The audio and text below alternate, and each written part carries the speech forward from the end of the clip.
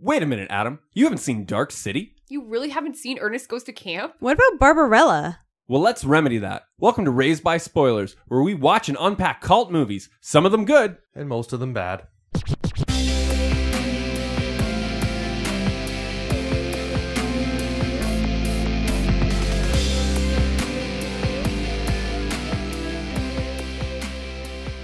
Welcome back to Raised by Spoilers, everybody.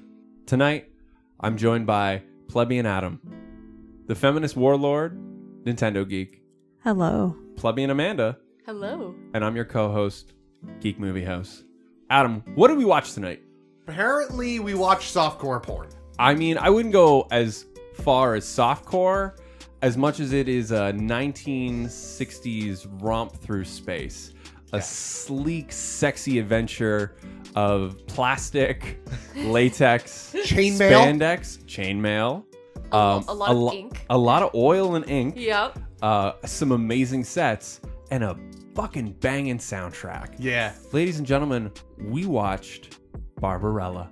So we're gonna have a bit of a confusion on here because we got two Amandas. We do. So it's gonna be a bit tel- difficult, but that's fine. So I want to make this clear. This movie was speci- specifically specify that you wanted to bring this to me, Amanda, not plebeian wife Amanda. Nintendo Geek, what do we got? Nintendo geek. So wh- why why this movie? So obviously you're you're into this and you bring you, you have all we have all these movies where like hey Adam's never watched a bunch of these weird movies and so on and so forth. Not just weird but other mo- movies. But you decide you want to bring the one that gets me horny. Um, always. It's kind of a rite of passage. Uh, this movie was filmed and released in the 60s, released in the 1968. Uh, it is important because it is a science fiction movie with the depiction of the first female uh, science fiction character brought forward from a comic. Uh, not a serial like Buck Rogers or The Flash. Flash Gordon. Flash Gordon, sorry. No, no, no, Uh, no, no, no, no, apologize. no, no, the Flash. Yeah, Flash Gordon. No, the Flash. Like The speedster. Yeah, the Speedster. Oh, shit. and Buck Rogers. Oh, We're sh- both serial fi- uh, series, right? Right. Okay. Yep. So Barbarella was based on the 1960s uh, French comic. So in correlation, Barbarella was the first like comic heroine brought to film, right? So it's kind of a rite of passage if you like science fiction films and also just like, you know, a little risque uh A little risque. Also, titties. Titties. A lot I of titties. mean, you in know. every shape, form, and artistic beauty, crammed in plastic and strapped with straps and, you know, tinsel and fur and just Feathers, a lot of, a lot of chainmail. titties. Would you go as far as it is a science art film? Yes. A science. It's very much a much science friction film. it's hard to say if if this was put out now. If Yeah. someone said, "Hey, this is it's you know the year 2000, and this is the movie I decided Ladies to put and out." gentlemen, it is the year 2000. Yes. Get back into the time portal and Will come Smith back. is cool. yeah. Um, yeah, I, Godzilla is storming Manhattan in the year 2000. I would say that yes, this is definitely an artistic, but I can't. It's hard for me to judge and sit here and look at it and go, "Oh yeah, in the '60s, this was considered art." Versus, was this kind of supposed to be serious? 'Kay. Because I know Flash Gordon was supposed to be serious. This feels like the Giger of Europop, where it's You like gotta, you gotta elaborate on that one. weird, like out there, artsy, over the top, but like kind of. I don't know. Everything with Giger is like tentacles and, and vaguely sexual, even though it's aliens, but also it's creepy. Well, this had no And tentacles because everything that was alien was humanoid. Okay, no, did you see that ship on the lake? Its sail was just tentacles. okay, that ship was clear. Okay, should we take this step by step? I think we should fully unpack Barbarella Yes. on tonight's episode of Raised by Spoilers. Adam, let's go around the room real quick before we get into the rigmarole and we Yeah. rate rate those eyebrows and whatnot. Did you like the film? No. Okay, that's fair. Did you have a fun time watching it? Yes. Fuck yeah, you did. Very different. Those are very different. Uh, absolutely, judges. absolutely. Nintendo Geek, you brought the movie to the table. Thoughts on Barbarella? Like, where does this stand with you? Well, like I said, it's kind of a uh, uh, stepping stone in uh, the beginnings of what science fiction has become. Uh, there's many, many, many different uh, modern films like The Fifth Element, uh, that have ties to inspirations, at least from Barbarella, with the costume designing. Uh, it's Holy where shit, you're right. There's a Yeah. lot. Yeah. To, there's a lot. This movie's touched a lot of other films. It's one of those artsy fartsy. There's a lot of Oh, touching yeah. going Like- on. There's There a lot would, of touching uh, in this film. A lot of touching. there would definitely be like a like Flash Gordon had a lot of inspiration from Barbarella. Uh, it was an Italian director Of course, it was an wanting Italian director. Of course. All Italians are perverts. Yeah, uh, Roger Vadim, uh, or Vadim, sorry, and he based it on the French comic of the same name, Barbarella. Now, there's some variations from the original uh, comic, but I don't know. I I really like it because I feel it's very. It was definitely ahead of its time. Uh, the costumes were crazy, like you said. The soundtrack was fantastic. Uh, it has stems in Pink Floyd. Uh, the guitarist had his roots in there as well. Um, But do you think it's a good movie? Did you enjoy? I the loved movie? it. Sorry. No big deal. Um, do you think it's a good movie? you know, it's good in its own right. Okay. I feel it has a very strong uh, set design, very Oh, yeah. strong presence about it. Yes. The plot is very strong. Like it, it holds itself through and through. Like it has a beginning, it has a middle, it has an end. Like it, it doesn't kind of veer from its original plot point. I Until, am until going they to completely run out of money, I'm going to strongly disagree with that statement. and we'll get into that in a second. Can we pause and come back to you in a second, Sure. Amanda? Yo. What do you? What are your thoughts on Barbarella? Oh, what did I just watch? Um, what did you just watch? that was that was that was an interesting romp. Um yeah, I have to agree with um Plebby and Adam. I think that was not a good movie by all standards of what makes a good movie. However, I feel it's also an okay parody. Even though it's not a parody, it's like ah, it's it's a parody. It's a parody of space and sci-fi and everything that is the 70s. So I guess it's okay in that sense, but I don't think that's what it was meant to be. So Yeah, I want to. Yeah. It came out in a time where they were really trying to take it in an artistically, uh, artistic fashion of itself seriously, with some ideas and, I mean, obviously concepts. I gotta ask: Do we know whether or not this movie was intended to be artsy? Yes, one hundred percent. Okay, and do we know that it was intended to take itself seriously or not? Uh, it's a 50-50. Yeah. Okay. Depends on who you ask. So the thing with Barbarella is that they filmed two movies with the same cast Really? at the same time. Barbarella was one of them. I think if you, Mandy, do you know the rest of Uh, it's a diabolik. Uh, Diabolik? Diabolik, which was another Italian film. And the th- whole thing with Barbarella was there's this kind of sweet spot 60s era Hollywood where they got funding to make a movie and then kind of blew it on very very elaborate sexy parties. ah, Mm, So what we like are witnessing and the film that we're seeing is probably 30% of what was actually filmed because they were all just partying you in, kind in space? How could you not in those in costumes? fucking that is space? Like, like- they were filming it in spain. They were filming it all over the place. And Barbara, like it there's so much that era of like 60s to early 70s very wild west. Okay. very wild west of sex drug love movement funding what we're going to make how we're going to turn it over the film itself really really wasn't re- widely released in the united states it was a european classic like it was Ah. it was italy This kind of Paris. shit could only have been accepted in Europe because right clearly it was, as we've alluded to or made sh- quite straight out, it's highly sexualized. yep So it's much not so- afraid to No, and it's not afraid to. And that's one thing that I think kind of upsets me. And maybe this is a thought, a brain that comes from, you know, 2020 being projected back to the 1960s, going, I kind of hoped, I, I guess I would say I hoped that this was a strong heroine female. I'm thinking like, you know, Ripley, but not dark. Right. right Uh, but she is the actor. She is the not as in the character, but she her character is the one making the plays. She her character is the one making the choices, taking I, I guess we'll say the offensive. Um, but it turns out, And then while at the same time, I, I was hoping that she'd be sexually strong in her own body and be both strong with herself. But it turns out that she's just a sex icon as a damsel in distress, except made the heroine.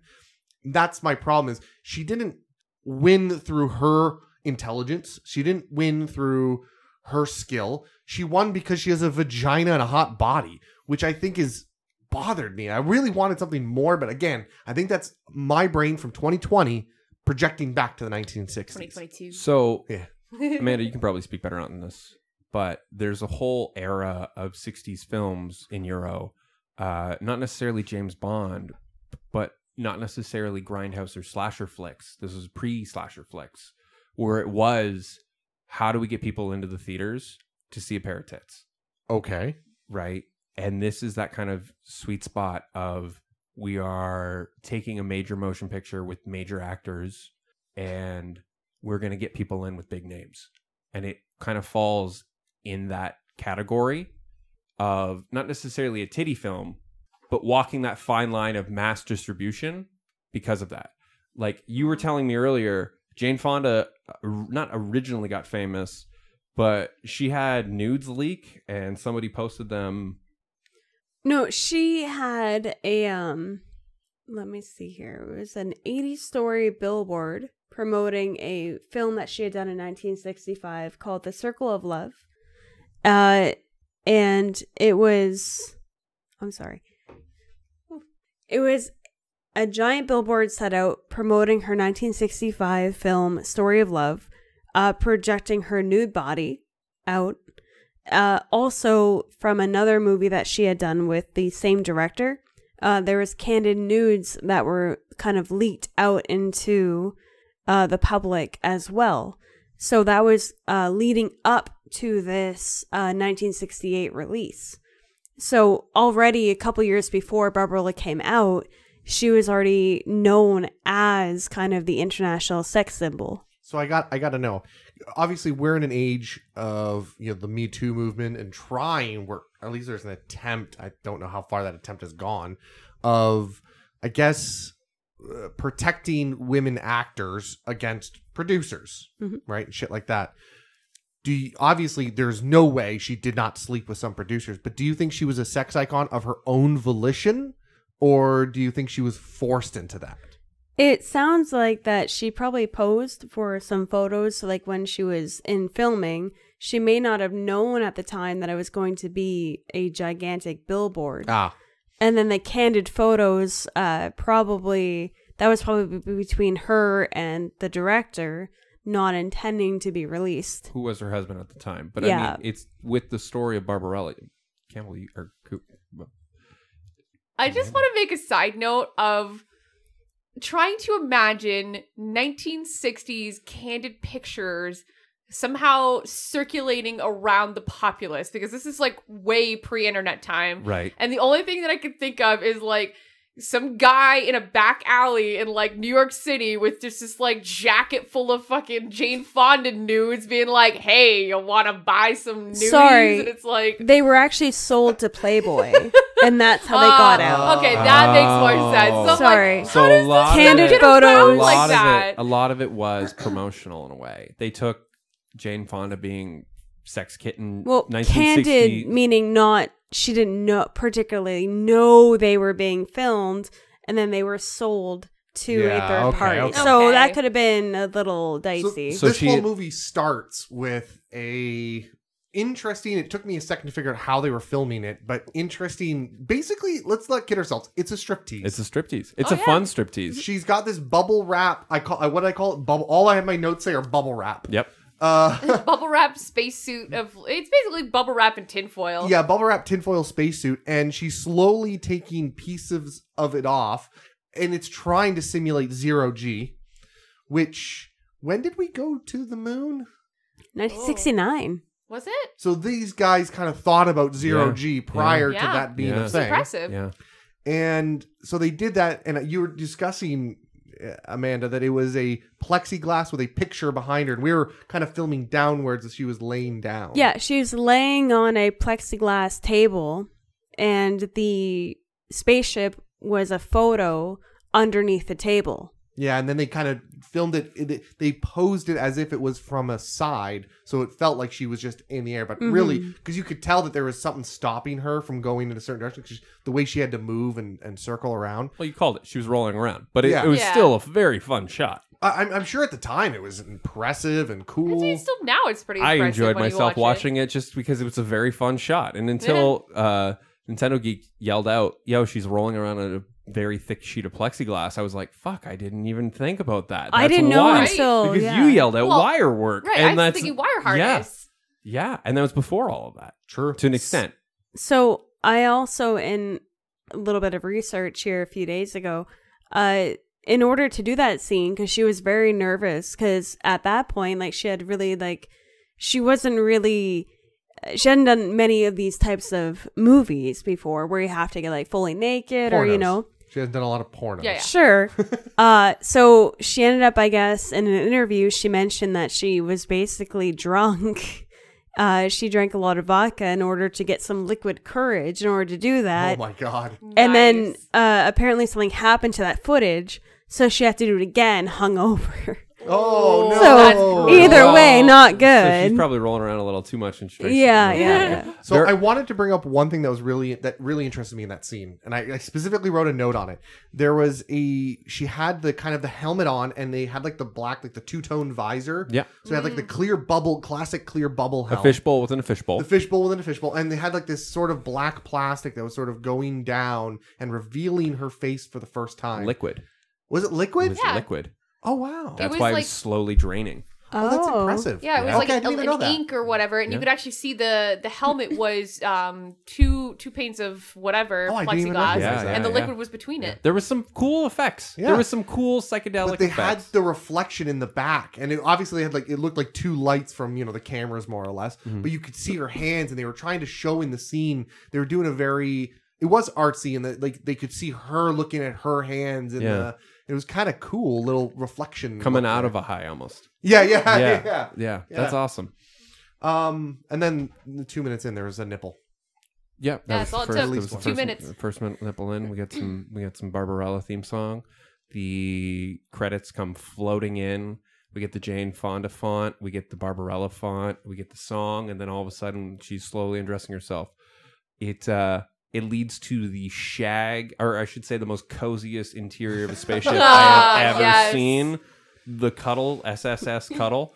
Um, You know what? That place must be very good for like I struggle in this room Yeah. a lot for sound and Sure. sound reverberation. Mhm. That room must have no sound reverberation Nothing. whatsoever. no I, I think that would just be allergy central though. Like, could you imagine just the dust and skin cells and everything else that just gets the shag wall, that- the shag in, roof. in space, there is no dust.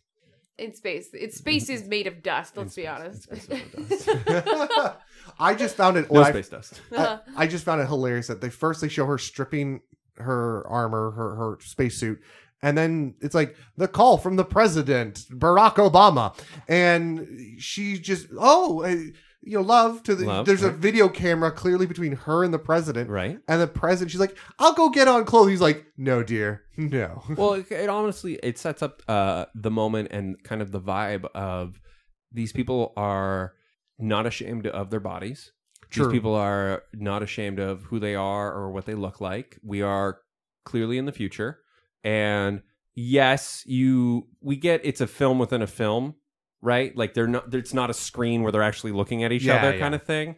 But he does do the joke where he kind of checks her out Yeah, Yeah. right? Even though it's inappropriate and think- thing because of the professionalism of, of aspect of it. But we kind of get it sets up that that kind of tone of like the whole like the whole premise of Barbarella right off the beginning is like in the future there is no violence, there is no weapons, and people have stopped fucking. Yeah. yeah. There is it's, no sex. It's literally the hippie movement as Wow, It's It's the no, like the- no, it's like the without anti sex anti. It's like the anti anti hippie hippie movement. Yeah, well.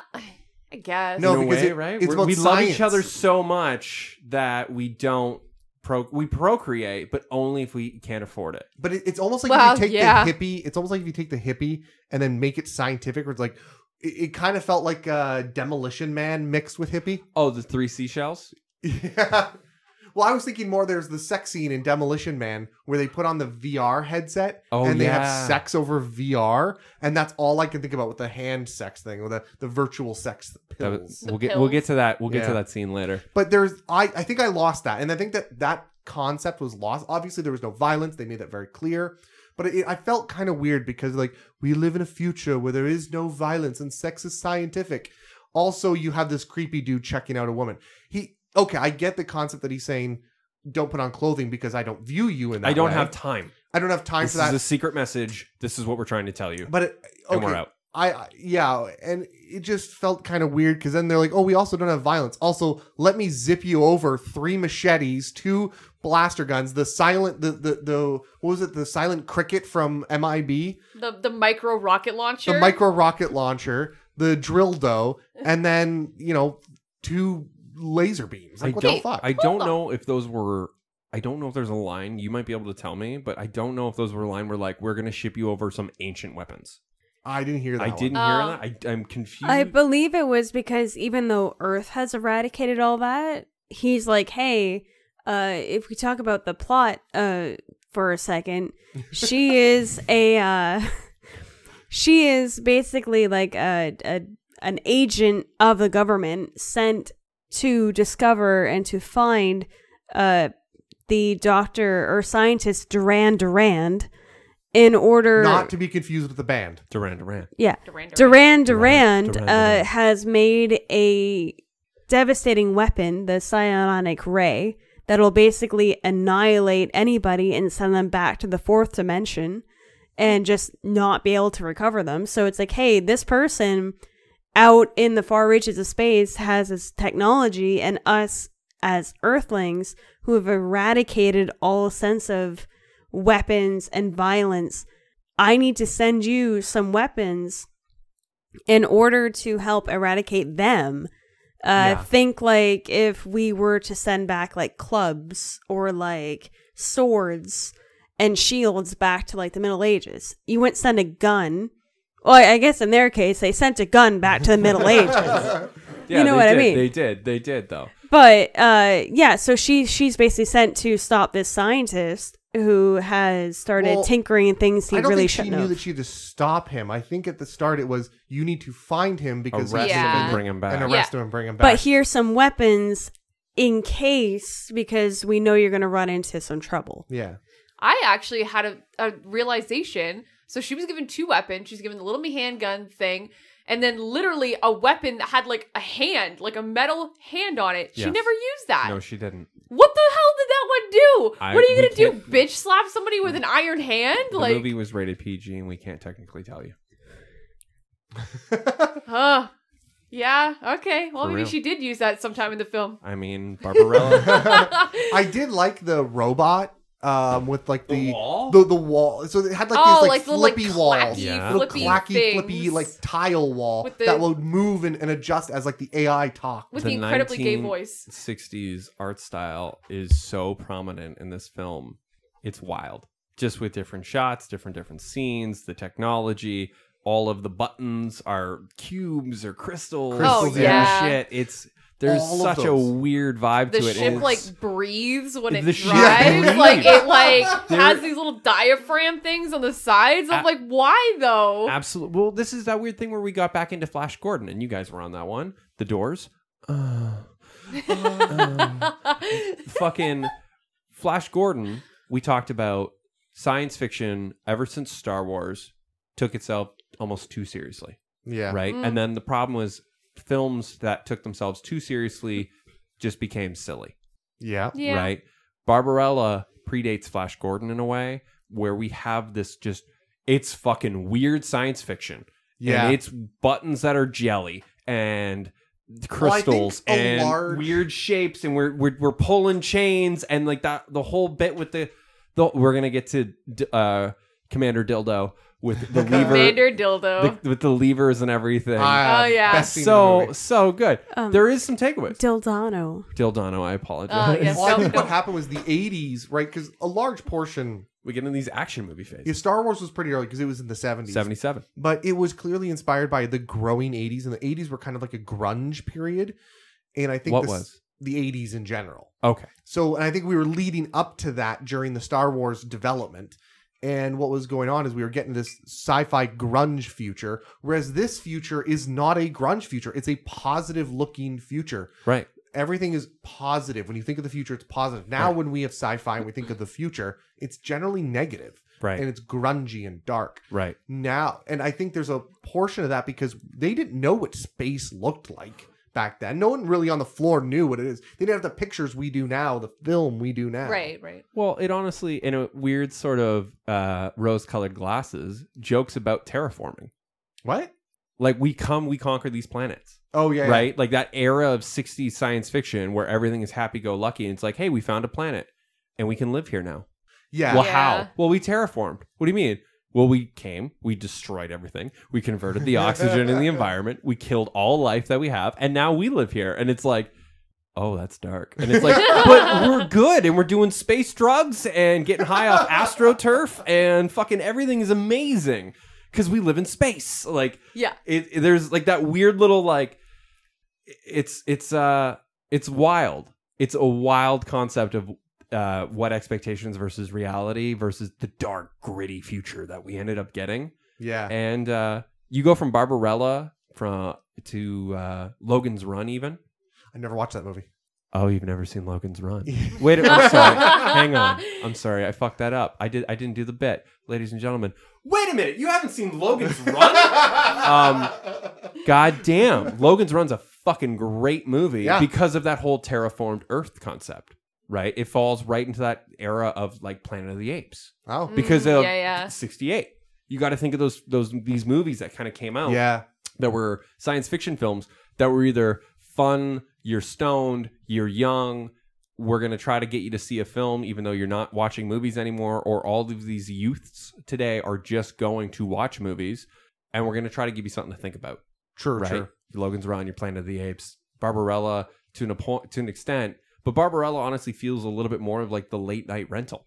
Barbarella It feels does. very much just like it's the 70s, it's on it's late at night and you're watching it cuz what VHSs came out in what 70 78 Uh, 79 the first VHS, I believe, came out in 76. So mainstream probably not until closer to the 80s. Right. So my grandparents they used to have to rent a box and Right. they, they watched Superman and they had When the was- entire neighborhood over. Hold on. to When watch was Superman out?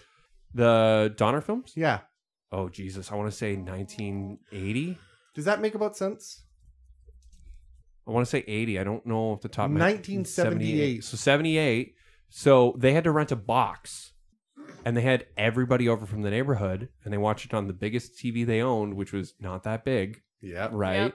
And they had kids sitting on the stairs, and like everybody, they made an event of it because they rented the box for the night, and they could watch fucking Superman on a little colored TV before VHSs, before all It's of that. funny you Was talk about Superman. Betamax? It was Betamax. I want to yeah, say, yeah. yeah. It's funny that you think about that you talk about Superman because it this movie put Superman. I always felt super, the old Superman, the old you know the original, kind of strange to me. The Krypton science and the the weird crystal. the crystal the- buttons, the ladies crystal and gentlemen, buttons. it's all connected. We're bringing it back. It felt so Oh weird, but now that I look at like the seventies and you go, oh, the people who made Superman were growing, were growing up or working on. were working on these when they were younger and they were Right. clearly inspired by an impressionist. Like, oh, I see where this is all coming from now. Now, the thing that I felt really weird is they spent way too long showing the cra- air quotes crash sequence where she was Just, they just had like her ship kind of it was a room built on hydraulics or something I don't know what and it just kind of just moved around a bit she's like oh, Oh, yeah, oh. she was like rolling Probably not around the hydraulics. room. probably people Probably people shaking the box like they did it, Yeah. like they do in Star Trek. hey you're, you're absolutely right, They move. They would shift the, shet, the set. And so they spent a whole way too much time doing this crash with psychedelic images in like the the one you know window of the But that's the what people were paying to see. yeah absolutely They were stoned out of their mind and they wanted to go see a fucking titty film. i just find And it hilarious that immediately there's the president going you are one of our best agents now go immediately crash like what the fuck? She fails upwards a bit. she she fails upwards the whole movie She's their best agent, and she literally bangs her way out of every situation. Okay, have you never seen a fucking James Bond movie? Hold on, there's not, a difference. Not the No, older there is not. ones. No, there is not. I have uh, James Bond fucks his way through those no, films. no. There's a reason. Uh, because there's been no violence on Earth for so long. Think about it. Like if you're training to be like an agent, you don't know what actual violence is.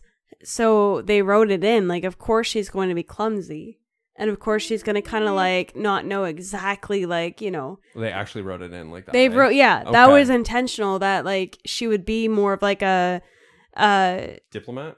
yeah, more of a diplomat rather than like a fighter. Like she's Yeah. more of a negotiator and use these weapons Well, as a that. backup. But is she she's like, you've been traveling out in space. You're trained in your spacecraft. Oh, you crashed. It was it happened so immediately, which is fine. And then I think her- it was the planet itself. The like evil- the- there was no, like it a, the, a wa- the red. There was the yeah, there was a, the the Mathmos. Yeah, they Yeah, talk about how it is with her- positively charged. Yeah, and it caused like a magnetic field Yeah. around the planet. and because she's cases. good it was trying to ex- like uh you know because it, it Kick her feeds out. yeah it feed the the Mathmos Oh my feeds god! on I actually hadn't considered that those two are tied together. yeah Huh? Like you the know, they thought a little bit more about this movie than I gave it credit for. Maybe maybe if you Which didn't stare at fucking Jane Fonda's body the entire time Yeah, and yeah. pay attention to the plot, you'd be great. because You're- you it, know it feeds on true. negative and she's such a good uh like uh They do mention her positivity the entire Yeah. fucking film. positivity, sweetness. She's very naive in these ways where everyone else on the planet has kind of been like uh not corrupted, but like, you know, they're in the primitive quote unquote primitive ways, right? I and it's do- very much a divide of good and evil. Yeah, I do find it funny that the first enemies she um, finds is I can't quite decide whether, and I think only uh, plebeian Amanda will get this, but I can't decide whether it's the two children from The Shining or if it's the twins from uh, Korra, Legend of Korra. So it's um the Grinch. It's all the uh the people of Whoville. Uh Okay. when they went psycho and went off the deep end because all their shit got stolen and then they took all the toys and made them into monsters and we're gonna kill people with I them. just like that in order to knock out Barbara, so these two twin girls in weird, snowy but weird outfits with weird hair. Well, she goes to the ice planet. she falls to the ice planet. Right. Yeah, yeah. And instead of because they want to knock her out, so instead of just throwing a rock at her, they put the rock in snow and throw it at her, even though she wasn't expecting Well, either put, one. They, they put like a fucking diamond. Right, Yeah, they it put a like a diamond. crystal they or put a, something. Yeah, a diamond in a but why did they just throw the diamond at her? She clearly wasn't expecting Because- either one. because they're if it's a- shitty kids. Well, if it's a snowball, you think, oh, it's the kids, haha, they're playing, whatever, right? You don't think to like, oh my god, this thing's gonna literally knock me out, right? Right. and then they tie they tie her up and then get her up on her skis and the fucking unicorn manta ray. Oh, Yeah. we don't want, we don't what talk about love. the That's manta what I. I love. I love that weird sci-fi It was so shit, good. man. When we get to Predators, where there's the Predator dogs, where we get to Logan's Run, where we get to all these weird science fiction films. Dare I mention the tree scorpion from fucking Flash Gordon? Okay, Oh, you put oh, your hand in that log, and what do you get? You get high as a kite, my man. But I just I I think that was the moment in the movie where I broke down. I lost it. Yeah. It, there was two moments that I lost it. Two moments. One of them was this one where I I just I was like, hey, they're showing this manta ray and they're kind of putting it like a horror kind of way. flopping. It's like flopping on the snow. kill, kill me. and oh. they're kind of like setting up these skis for her. And Yeah. You're not quite sure. It's almost the, the way they cut it. They're treating it almost horror esque, like you're Right. not sure what's going to happen. Right. And then suddenly they pan out for a moment and they show that they're on the skis. And she's like, I haven't skied in a while. And then the manta ray just starts vibrating forward. and I just, as, as a sled dog, this is effectively a manta ray acting as a sled Okay, dog. you're gonna have to Google manta ray sled dogs because clearly you've never seen them race. And if you haven't watched the fucking Alaskan vibrating s- manta rays, you need to fucking Google or clear your search history and then start googling this. Okay, Yeah, yeah, yeah. because the vibrating manta ray sled dogs of Antarctica will change your life. Okay, there's a whole betting scene. Yeah, but that whole race is cultural appropriation, you know. I would rather not vibrate on it. Yeah, you know what But though? we it was like so weird that they treated it as horror and then immediately it became comedy. So like it jumped from one to the other and it killed me. It took me. I just well, then you go right to okay. So hang on, we're getting kind of into the plot, no, ladies and gentlemen. No, the fact that well, granted, she got knocked. They didn't hit her in like the. They didn't just hit her in the head. They hit her like in the eye. So she was out of it, and then she kind of let them tie her up, and then let them let them lead her on to this ski. Yeah. Well, And then, like you said, they only went like a hundred feet.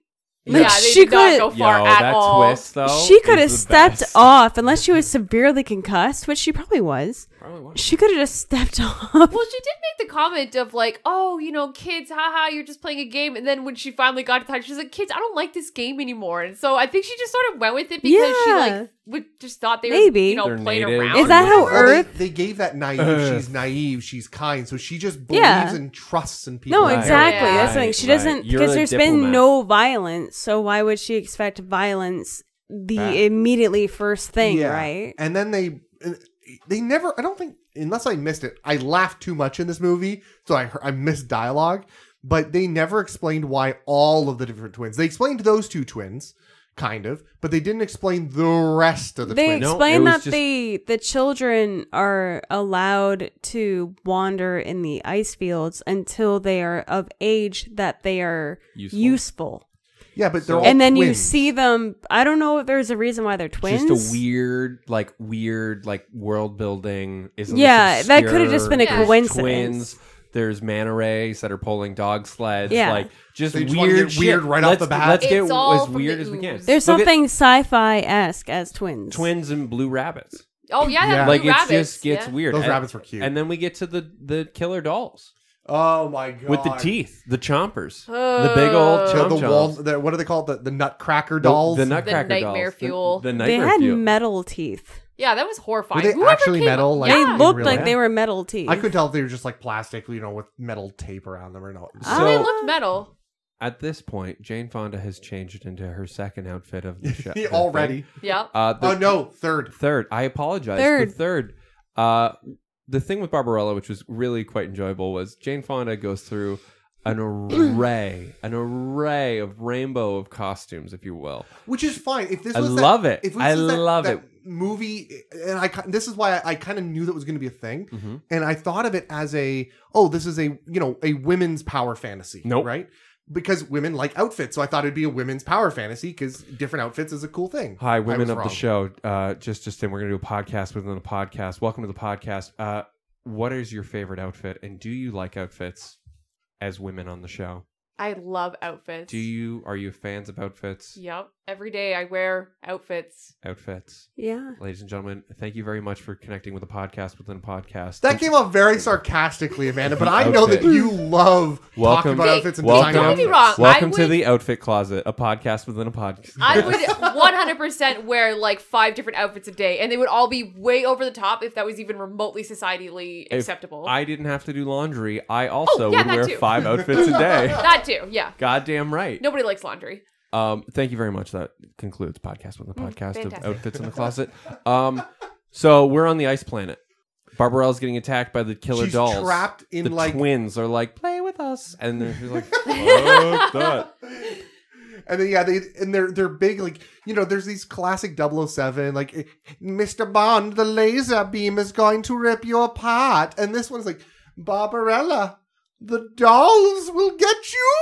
It's like what? And there's just Right. slow moving No, dolls. the fact, Just- the thing about that scene that made it scary was that they just put the dolls down and started laughing with their teeth. that is Yeah. true. And then Barbarella's like, "Yeah, we're playing," and then she noticed they start just like just like Chomping chomping. I expected to see them pan over and just see Jigsaw from fucking Yeah, Saw and then she's all of a like, "Oh shit!" And then she started calling for help. Too late. Too late. Her outfit has already halfway been removed, oh yeah. Yeah. and Oh, it is- easy. it And- is cold on the ice planet That costume can never be worn again. ever again. That we're gonna mark it up on the budget. But I think this was the first time when I went, "Oh no," because she was a damsel in distress with these um with these puppets or these these dolls, Right. and someone else came to save her. A dude came to save her. I'm like, "Oh shit!" Yeah. And you know they got the whip cracking, the child labor. Get the fuck Well, no, out! because when the whips crack, it's a children screaming. Yeah, which that- is that's a so little cool. weird. So cool. Whip. Ah! Whip. ah! Like fucking just terrifying, and the kids literally freeze in terror. And then they shoot the biggest Nerf dart and it explodes into a net, and then the kids just get dragged off scene. and it's like, okay, I guess they're done. and If they only never we- explain it. If only we could deal no. with all children that way. Oh Just my shoot a God, giant right? Nerf dart at them and just, Just drag them somewhere. And I love how Barbarella's in this really tight, thin outfit, and this guy shows up like, I have been on this ice planet for a long time, and he's wearing full uh like furs, like just head to toe. You can't It see an ounce of skin. literally a suit made of pure pubic hair. He has been He on is that ice planet double for fursuit. so long. It's all just fur. It's fur. it's it's in between two furs. it is Oh, wonderful. Nice can you reference. imagine the fur just like matting with the other fur Oh and like God. just braiding itself I close together? my I close my eyes So- sometimes and imagine that. It's so good. I don't know if people are quite envisioning what we're talking about because quickly after he saves Barbarella, she's like, "Oh, how could I do to repay you?" And he's like, "You know what, woman?" And she's like, "Oh, you want to do the hand touching sex with the pills?" And he's like, "Nah, bitch, I want to get it on." So hang on just a quick second. Barbarella is in the far future where in modern society they don't have sex. Mark Hand, that They oh, that's the actor. take a pill No, that's a character. and then connect psionically and telepathically with their hands and emotions. And in which case they make love. Yeah. And our uh dashing hero comes to Barbarella's rescue and lays it down pretty straight. Hey, your ship has crashed. You need help? What can you do to repay me? I think she offers. She what offers. no, what she offers. You're right. You're you? right. She offers. She offers. She doesn't offer sex per se. She doesn't offer she offers sex. Something. She doesn't offer sex. She's like, I got stuff on my ship. What can we do? And he's just like, It's been so long. and it's like, oh, oh my god. I have only fucked uh, manta rays. Oh my god. Manta. Yeah. Vibrating manta rays. I've Good, only- but they're not a woman. I've I- only fucked vibrating manta Well, rays. no. I fold my fursuit over and just fuck that, and sometimes it's warm. Jesus. all right, all right, all right. We'll come back to you, Nintendo Geek. So uh, he lays her down, and the the fur the fur uh, the fuck sled. Okay, first of all, it's a fuck sled. sled. The- it's a fuck sled, but I love that he's What a not fun steering. scene. Who's steering the sled? Who No. cares? No, okay. He's- No, no, no. I, I was right. Okay, so she does offer that her government will certainly provide him with recom. Wow, okay, well, I'm not going to start quoting her. Basically saying that uh, because she's on a government mission, that she will make sure that he gets compensated because her government will help Yeah. with like costs.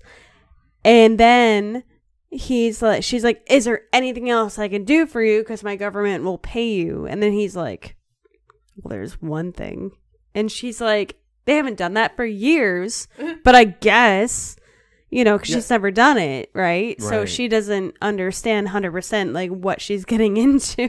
I do find it funny. This guy's like, I have a snow sail, and you're like, okay, I we will ride the sa- the sail, and then you get in. He, she gets her into the sail, and he can't see where he's going. But he knows where he's gonna come.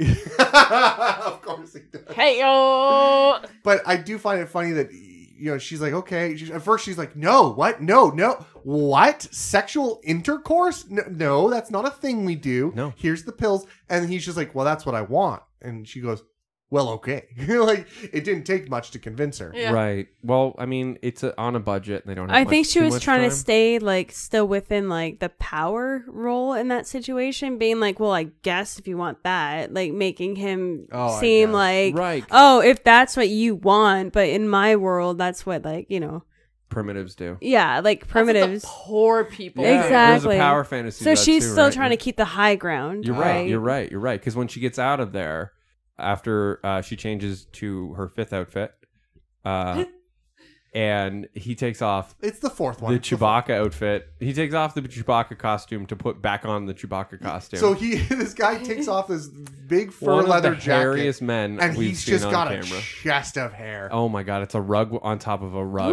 who is that actor anyway? I want to look up Mark- what porn he's in next. Uh, So oh god. they bang. It's great. They don't really allude to it. We don't see it. We get a great action shot. of Mark, J- Mark Hand, Hugo Tognazzi. So we get a great action. We get a very not even an action shot, just pretty much Jane Fonda posing slowly, sexily uh, getting up, and you, she's bending and curving, and she's kind of slowly it's behind like stretching. a like a you get a silhouette, silhouette, a yeah. very a, a, a cloudy silhouette of Jane Fonda's body. And then she gets out fully dressed in almost like a skunk costume. We all kind of laugh Yeah, because she's got yeah. this giant tail. And you made the remark that she kept getting uh, the tail caught on set and indoors and stuff. And she kind of is either really into it, but also very much trying to play the I don't give a shit. yeah The oh, are you not done with the ship yet? Like bored, yeah right? Like oh yeah, that was like it was good, but also whatever kind of thing. And I- you're right. The power the power play is so strong there. I You're, you're enjoyed 100 the percent right on that. Where the sails are like a like a plasticky tubular Yeah, yeah. type shape, and they're kind of like tendril Like claws almost. the claws, yeah. Yeah. And I absolutely adore that at the start of the sex scene that it extends and grows.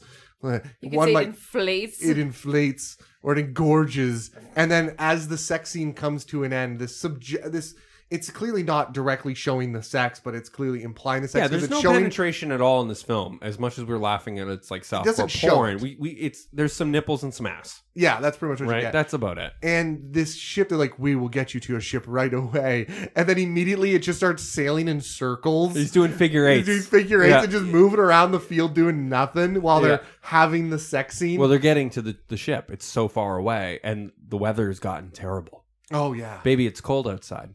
and then right after the sex scene the, the sails deflate because they've arrived I'm like oh my god my god! Oh. this is too much It, it is. It's a little cringeworthy. It's uh, it's a like the thing is, is if you go into it, not necessarily looking at like the cringe aspect of it, but just also the, excuse me, um, barely consenting adults in Yeah. a way. Like it's that's where it gets cringy because she's kind of not into it the entire time, but also it's like it's a movie. It's Jane I think Fonda that's being the s- sexy, and the whole film is kind of like no one's consenting, and also being like, "Hey, Barbarella, you need something."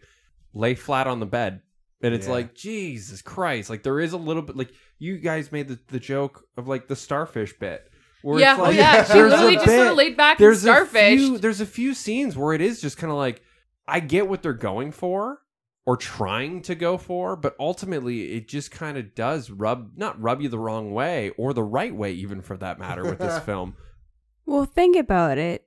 She was playing like the the high card there, being like, "Oh, I guess if you want to do it," and she's maybe read about it, but Or not. heard stories or rumors. Yeah, but she think about it, like she's like essentially like a virgin in that way. So like, she just was like, "Okay, and this is what happens. We like lay on the bed."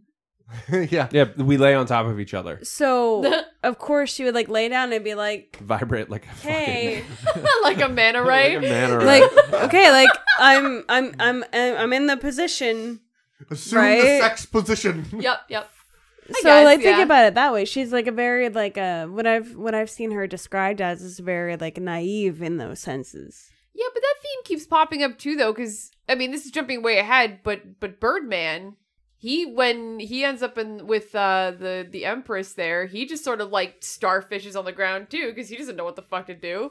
the angel. The angel. The angel. So I do. So this guy So that we're she the just ice has planet sex with still, right. fixes this. He fixes her ship for her, Okay. and then she immediately goes to try and leave the He planet. barely fixes it. He barely He literally fixes it. walks up and goes, "All fixed." yeah, and then it's like is are you sure? And he's like trust me i'm a trapper. I've been a trapper for years. I've been trapped on this ice planet trap trapping trappers. I'm a trapper. And i fixed your ship. And then she's like all right well that was fun and i gotta get the fuck away from you you creep. And then she gets in the ship. Her tail gets caught in the thing. And we have I these very comedic scene. moments of like her being like i gotta i love this. I gotta get get this fucking suit off me and i need to shower and then she immediately takes off and guess what? He didn't tra- fix the fucking ship and it immediately crashes. No uh when she goes to take off like you said uh the the Mathmos grabs her ship. Oh. Because it's all red and then she's like oh my god it's getting hot because Yeah. this entity has her ship the friction. and is dragging her down. The science friction. And that's where she lands in the labyrinth so Yes. barbarella do we get the name of her ship I don't think her her ship ship have has a a name? I don't name. think it I had a don't ship. know. I don't So know. I want to know at Barbara this Gr- point, no, not not once yet. After this point, have I guess they they did say more or less the final villain was Durand Durand. Well, we're not quite sure. She's after Durand Durand, but then they start alluding once she lands on the labyrinth of Night City. So it's Sogo. only then that they start talking about the The supreme- The, The supreme, tyrant. emperor, The supreme or oh, tyrant. supreme tyrant. That's what it was. the yeah. great tyrant, the great tyrant. Supreme Tyrant, Great Tyrant, the Tyrant. It's got a few names. yeah, Big old but tyrant. they don't really mention this tyrant figure until now. Yeah. Yeah. And they talk about how there's this labyrinth, which is a I don't I'm assuming it's a map painting or something like that. It looks like it. But it was cool. It, was the- looks this- like it. It And they built cool. a lot of it though. Yeah. For a matte painting. They built a lot, a lot of it. So I would assume for the wide shots, a lot of that was matte painting, especially with the ship and the, Yep. the different uh the the the very poorly uh what is it? The sky ships from Cloud City, the cloud the Yeah. cloud sails uh that are flying around trying to shoot them down later on is all done on the mat. Yeah. Yeah.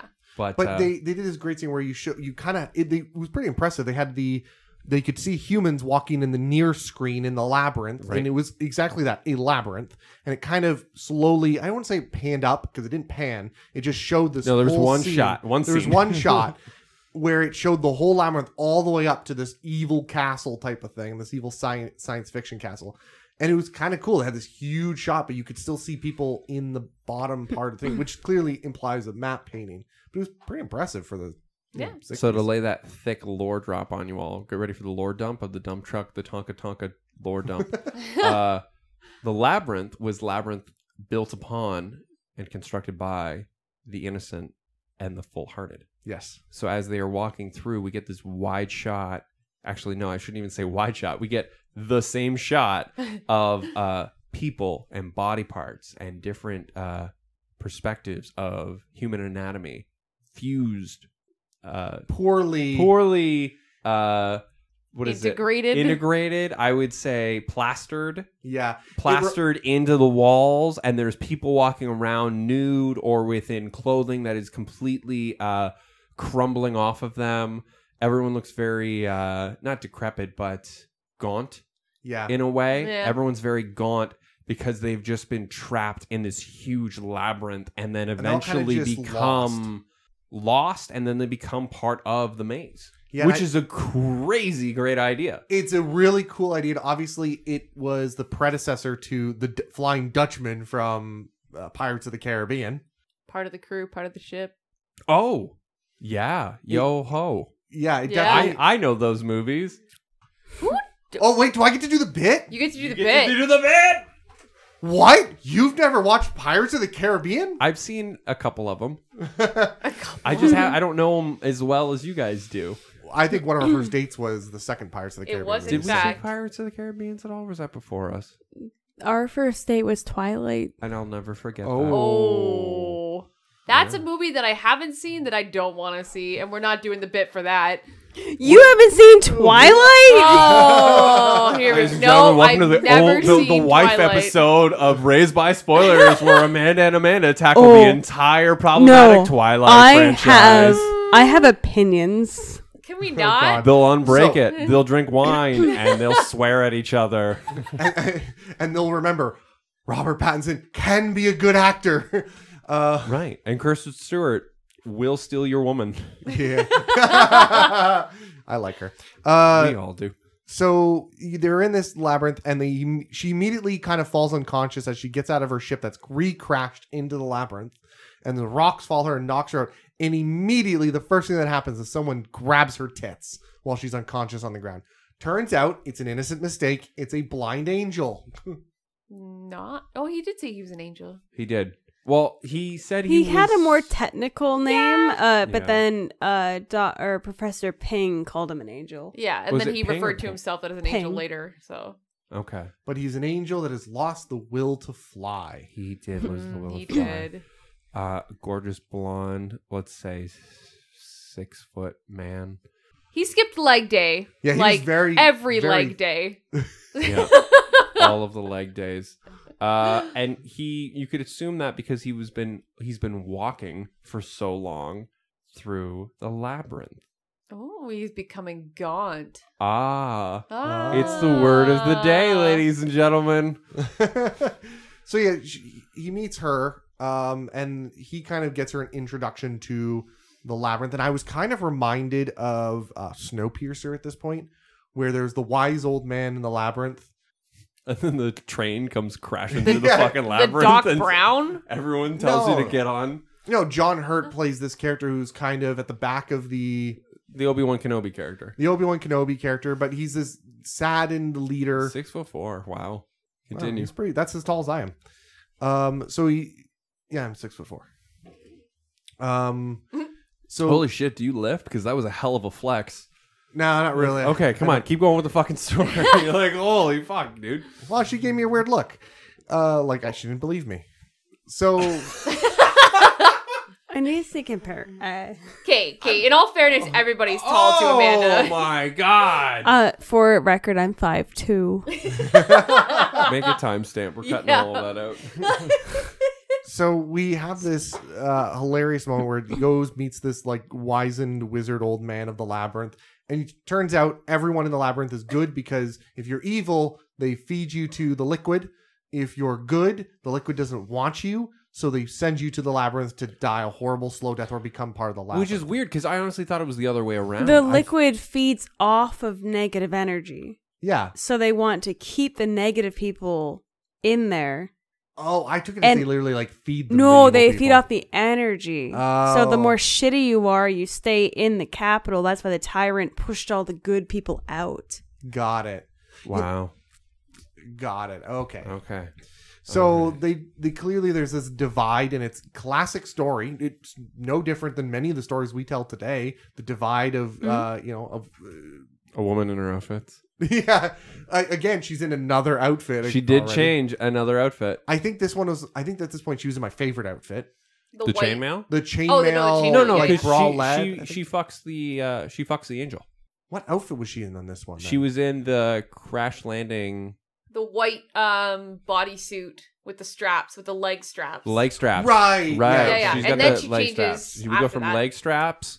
We go from white silvery leg straps, uh, almost like a, a vinyl outfit, to the labyrinth. We meet the cast of characters and the parts of the resistance, and then we meet the angel. Yes. They they bang. And then we have a hard cut where she changes the outfit, and he's just flying, being like, "I don't know what it was, but all of my emotion was backed up." And it's like, what the fuck? I just needed rel emotional The release. Yeah.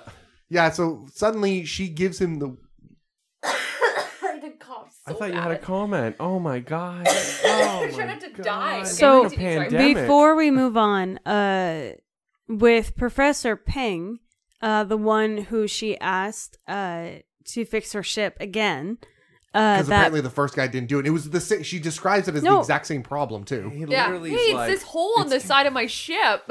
yeah. So There's these giant blast holes, and I can't figure out why it won't Uh, fly. an interesting fact about the actor of Marcel Marceau, uh, he is actually a mime actor. what?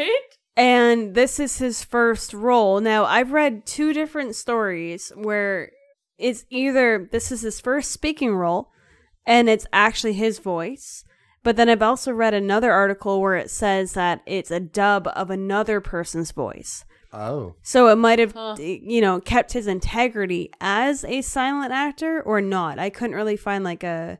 There was like two sides two to different it. stories. Yeah. But I- he's actually a mime actor, which is kind of interesting because he is kind of like a like a what would you say like unconventionally. I would say squirrely. Yeah. He was Oh, kind yeah. of just oh like, yeah, yeah. He's Like, he's definitely a ca- he's definitely a character. Right. Oh, yeah. So they Yeah. got they got some weird they got some weird cast of characters on this cr- this crew. They really do. I forgot to talk about. I do like the idea that uh, they. Sounds like you like this movie.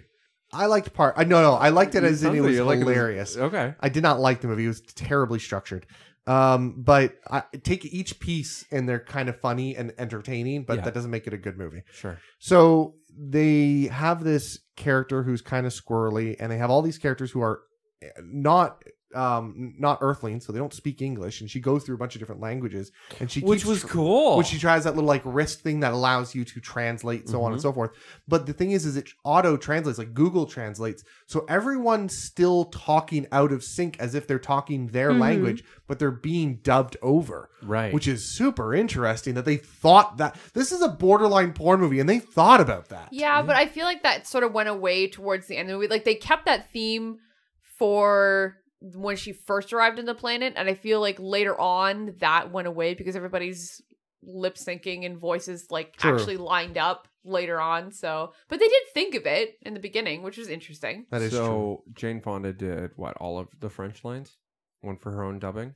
She did what, sorry? She's bilingual. She she did all of her own lines in French. Oh, Oh, wow, cool. good for her. Uh, because it's such a European film, I want to say that it was probably done in one typical language and Yeah. then m- multi-dubbed, that makes sense. or they did multiple takes. And then the problem is, is a lot of that gets cut or missed on the yeah. editing floor of what works and what doesn't work. Mm. And then they just kind of say, fuck it, dub over it. And we'll bring the movie back in and we'll dub over because we need one for Spanish, we need one for France, we need for, or, uh, French, Italian, Spanish, like all of those other ones. And that's where it kind of starts to get lost within, That makes sense. within it. So they eventually the guy who has now released his emotional bonds and has grown the courage, Sorry, the angel. the angel uh, who never wears a shirt, which is totally fine. It's totally fitting for this. Nobody wears a fucking shirt No- in this movie. Yeah, nobody, Nobody wears. does. Nobody wears a shirt. Uh, the guy in the Shirt's the optional. I almost cut a, a hole out of my one of my shirts and wore it over. Am I the only one that also thought of road, uh, not Road Warrior, the Fury Road with the guy who the, I think he was Bullet Town leader, and he had like just his nipples cut out of Oh, his shirt. yeah. With the chains. Um. So a lot of their Shit's outfits were weird. like that. So this guy now go grown the courage. He can now fly out of the labyrinth and fly up to the main evil city. Which is the best because Jane Fonda, Barbarella, is literally like, "All right, great, you can fly. I manipulated you. Let's fly to the city." And he looks at her, even though she's he's blind, and goes, "They'll shoot me out of this fucking sky." Yeah, yeah. And she's like, "Good, let's do it anyway." And it's like, "Oh my god." I don't believe in violence, Oh, oh but my I've got a rocket launcher, What does so we're that good. even mean? Right. They'll fucking shoot me out of the sky. oh my god. So they fly, and guess what happens? He gets shot out of the sky. Literally. he gets shot out of the sky. Uh Durand Durand and the evil tyrant or the great tyrant sends out the black guard uh in their almost sort of weird TIE fighter ships yeah. and they Yeah. shoot the angel and Barbarella out of the sky. And then they fall and fall and crash. No, what? No, he catches her. He catches her, but then they end up landing, and then Durand Durand catches them. No, they shoot all of the ships. She shoots all of the ships. Where he, she's like, this blind angel is flying. She's like, "I'll be your Left. eyes." Right, left. I think my favorite Pew, warning pew. was, I think my favorite warning was, "Watch out!" Yeah, over there, like, over there. watch out Yeah. for what? You need to be more descriptive than that. I'm When Jane blind. Fonda Yeah. yells over there. It's like, oh my god. it's brutal. But It's then great. they land, they blow up all the ships. That was an intense. I had no idea what was going on. Like I got the feeling of the scene. Clearly, there was supposed to be more of a struggle, but the music was very Barry Manilow, and it was supposed to be like an intense action scene. It was very Tom Jones even. Tom like we just had Jonesy. this very slapping bass scene like line as all hell's breaking loose. which was just hilarious. Finally, they kill all of them and they land. I don't even remember what happens next after that. Durand Durand shows up. Uh, Yeah. no, at No? the time Jump he in, is please. the, Jump in. at the time he is still a concierge. We don't know. Oh, Right, yeah, he's the concierge. So what He happens shows next? up. Uh, they show up in the castle and they go through to, and then she immediately starts asking, you know, as the undercover agent she is, do you know where Durand Durand is? Or like, you know, she she immediately starts asking, and it's like, wait, what? And they're just all evil. And they just see like a pure angel because he already warned her, being like, "Hey, an angel like in the city isn't really a thing." And she's like, "No, it'll be fine." Right, because we get the Oh. scene where the Oh, guy, the road warriors are checking her out and they go Yeah. to almost rape her. Yes. I totally forgot like, about that whole thing. That was actually before the concierge. Yeah, shows that was before Yeah. the concierge shows up. You're 100 percent 'Cause- right. Please, because we don't know the plot. Take us on this journey. They take they take uh Pygar away. They do take Pygar the angel, And then they take her down like the slope and into the inflatable pillow room. yes. and Yes. that's where we meet the one-eyed rogue Yeah. Vixen Like loved the her. with the spinning knives and the eye patch, And- who keeps calling yeah. her the pretty pretty. pretty, Pretty, pretty. pretty, I You gotta say it loved through this your teeth. character. Hello, my pretty pretty. pretty, Pretty, pretty. I loved her. I loved the spinning blade. She was so baller. Her outfit was kind of was this like roguish, sexy. She kind of reminded me of like a, a Riddick kind of character. Yeah, yeah. I feel like yeah. she belonged in Mortal Kombat It more was than anything. the Sure. outfit because Barbarella earlier in the movie had the ab window that had like ab her window? like belly button showing, but this outfit was like below the bu- belly button, above like I'm gonna say the pubic mound, wow. Yeah. like, is. and it was just like, oh, okay, you're like a brunette You're like a brunette. with an eye patch, a dominant lesbian. and we've just seen Yeah. Barbarella running around as like the like the blonde like bombshell, and it's like, oh, you're like the complete opposite. The com- Hello. yes. right. Yep. Right. They very much made that very clear that those two are two sides of the co- of the same coin. Mhm. Yeah, right, yeah. and that the devilish rogue is after Barbarella's goodies. Yeah. oh yeah. That was made very clear very quickly. It made very clear she's into that into the the uh the utensils of cutting paper. right. So she denies the help of the rogue Yes. and flees the scene looking for. And then no, no, no. The the devilish rogue spins her like blade and goes to like, I could throw this at you, I could kill you. and then an palms it, and it's like, oh, Yeah. She she had a moment of oh I'll leave you for now. yeah. for now. She could have had her, but she's like, I'll let you go. I'm just curious, right? The next scene was kind of cool where they were almost creepishly worshiping or betting on who would kill the blind angel.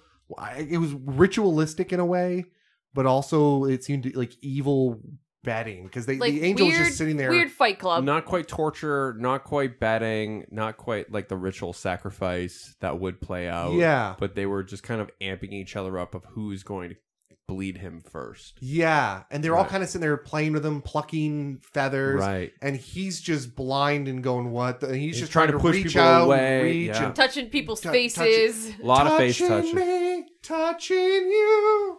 Um, Sweet Caroline. so they're Ba, just ba, ba. he's just reaching out, and Can't be that's when Barbell waves at him, goes, Over here. "Pisces," It's called Pisces. or whatever. What is Pygar. Pygar. Pygar, thank you. Amanda, please jump in at any point if we get anything wrong. no, you're, doing a great job. Fuming. I, I can I'm watching you go like There's no fear. No, you're good. You're doing good. Pygar. But it, it felt very ritualistic, which was cool. It was this weird scene where at first it was this. I thought they were worshiping him at first, but Well, then it clearly, slowly was evolving into it was ritualistic. But no, they were going to kill him, and they was just taking their time. They're trying to do the most evilest thing they can, and they're kind of jumping around, scaring him, Yeah, and in a weird try to way, like hyping up the group because then there is more energy. yeah, Eh, Right. So if they feed off of the whole, it, it reminds me honestly. If we can go on a little segue here, it reminds me a lot of uh, Batman and Robin, where we get the titular scene where uh, Robin steals the Batmobile, and we get that whole black light scene where he's clearly out of his league, and they all try to beat him up. Oh, you're talking Schu- Schumacher. I'm talking Schumacher, the best Batman film. Um, and uh, Robin's just kind of clearly out of his league, and then uh, Bruce swoops in and adopts him as like a weird older gay father to be like, "Yo, don't ever steal my car again." And a lot of that was transpired and inspired by Barbarella's "Let's torture an angel and maybe stab him with a dirty knife." And then Barbarella swoops in to save the day. and adopts her. her, her I don't know where I Step was angel? going with that. Yeah. But, so anyway, in walks Barbarella. I mean, she did sleep with him, so step what do you- angel. Hold on, hold on. Ah. Whoa! What? Angels don't make love; they are love. Oh, that line! So good. I was holding that off to be the closure of this episode. I got a great Well, story. too late. I'm sitting on for this. So yeah, so they immediately she saves them and she kind of pulls them back into this cave hole. No, no, you missed the point that she stashed a gun in his underwear. Right. Right, Right next yeah. to his dick. Check Yeah. off Chekhov's dick gun. hold that between them sweet, sweet cheeks. Paizo. And then uh Pygar. then the concierge comes around being like it's a not loaded gun. This is useless. Well, this was even before that. No, Yeah. because we get. Don't we get the birds first? Well, no, you forget about No, no, the suicide room. the room. suicide room. The suicide room. The How could I random forget the suicide, room? where Also- like the chick's in there, but basically went to go in to kill herself, and they're like, "Oh, okay, we can choose three different modes of death, and if we don't choose, the slime eats us." The slime, okay, the gelatinous slime eats us. So Paizo and Barbarella walk into the suicide room, and all shit's about to go down. Pygar, I'm so sorry. I didn't mean to call him the Pathfinder Company. yeah, thanks. So- thanks for insulting my favorite tabletop He's a RPG. handsome angel. So, um, Pygar, uh, Barbarella immediately spin around as the woman just gets shredded. And what the best was, she has second guesses and regrets. And the door swings down and smacks her in the ass, and she just kind of goes, ah, and dies. Yeah, And it's like, oh, fuck.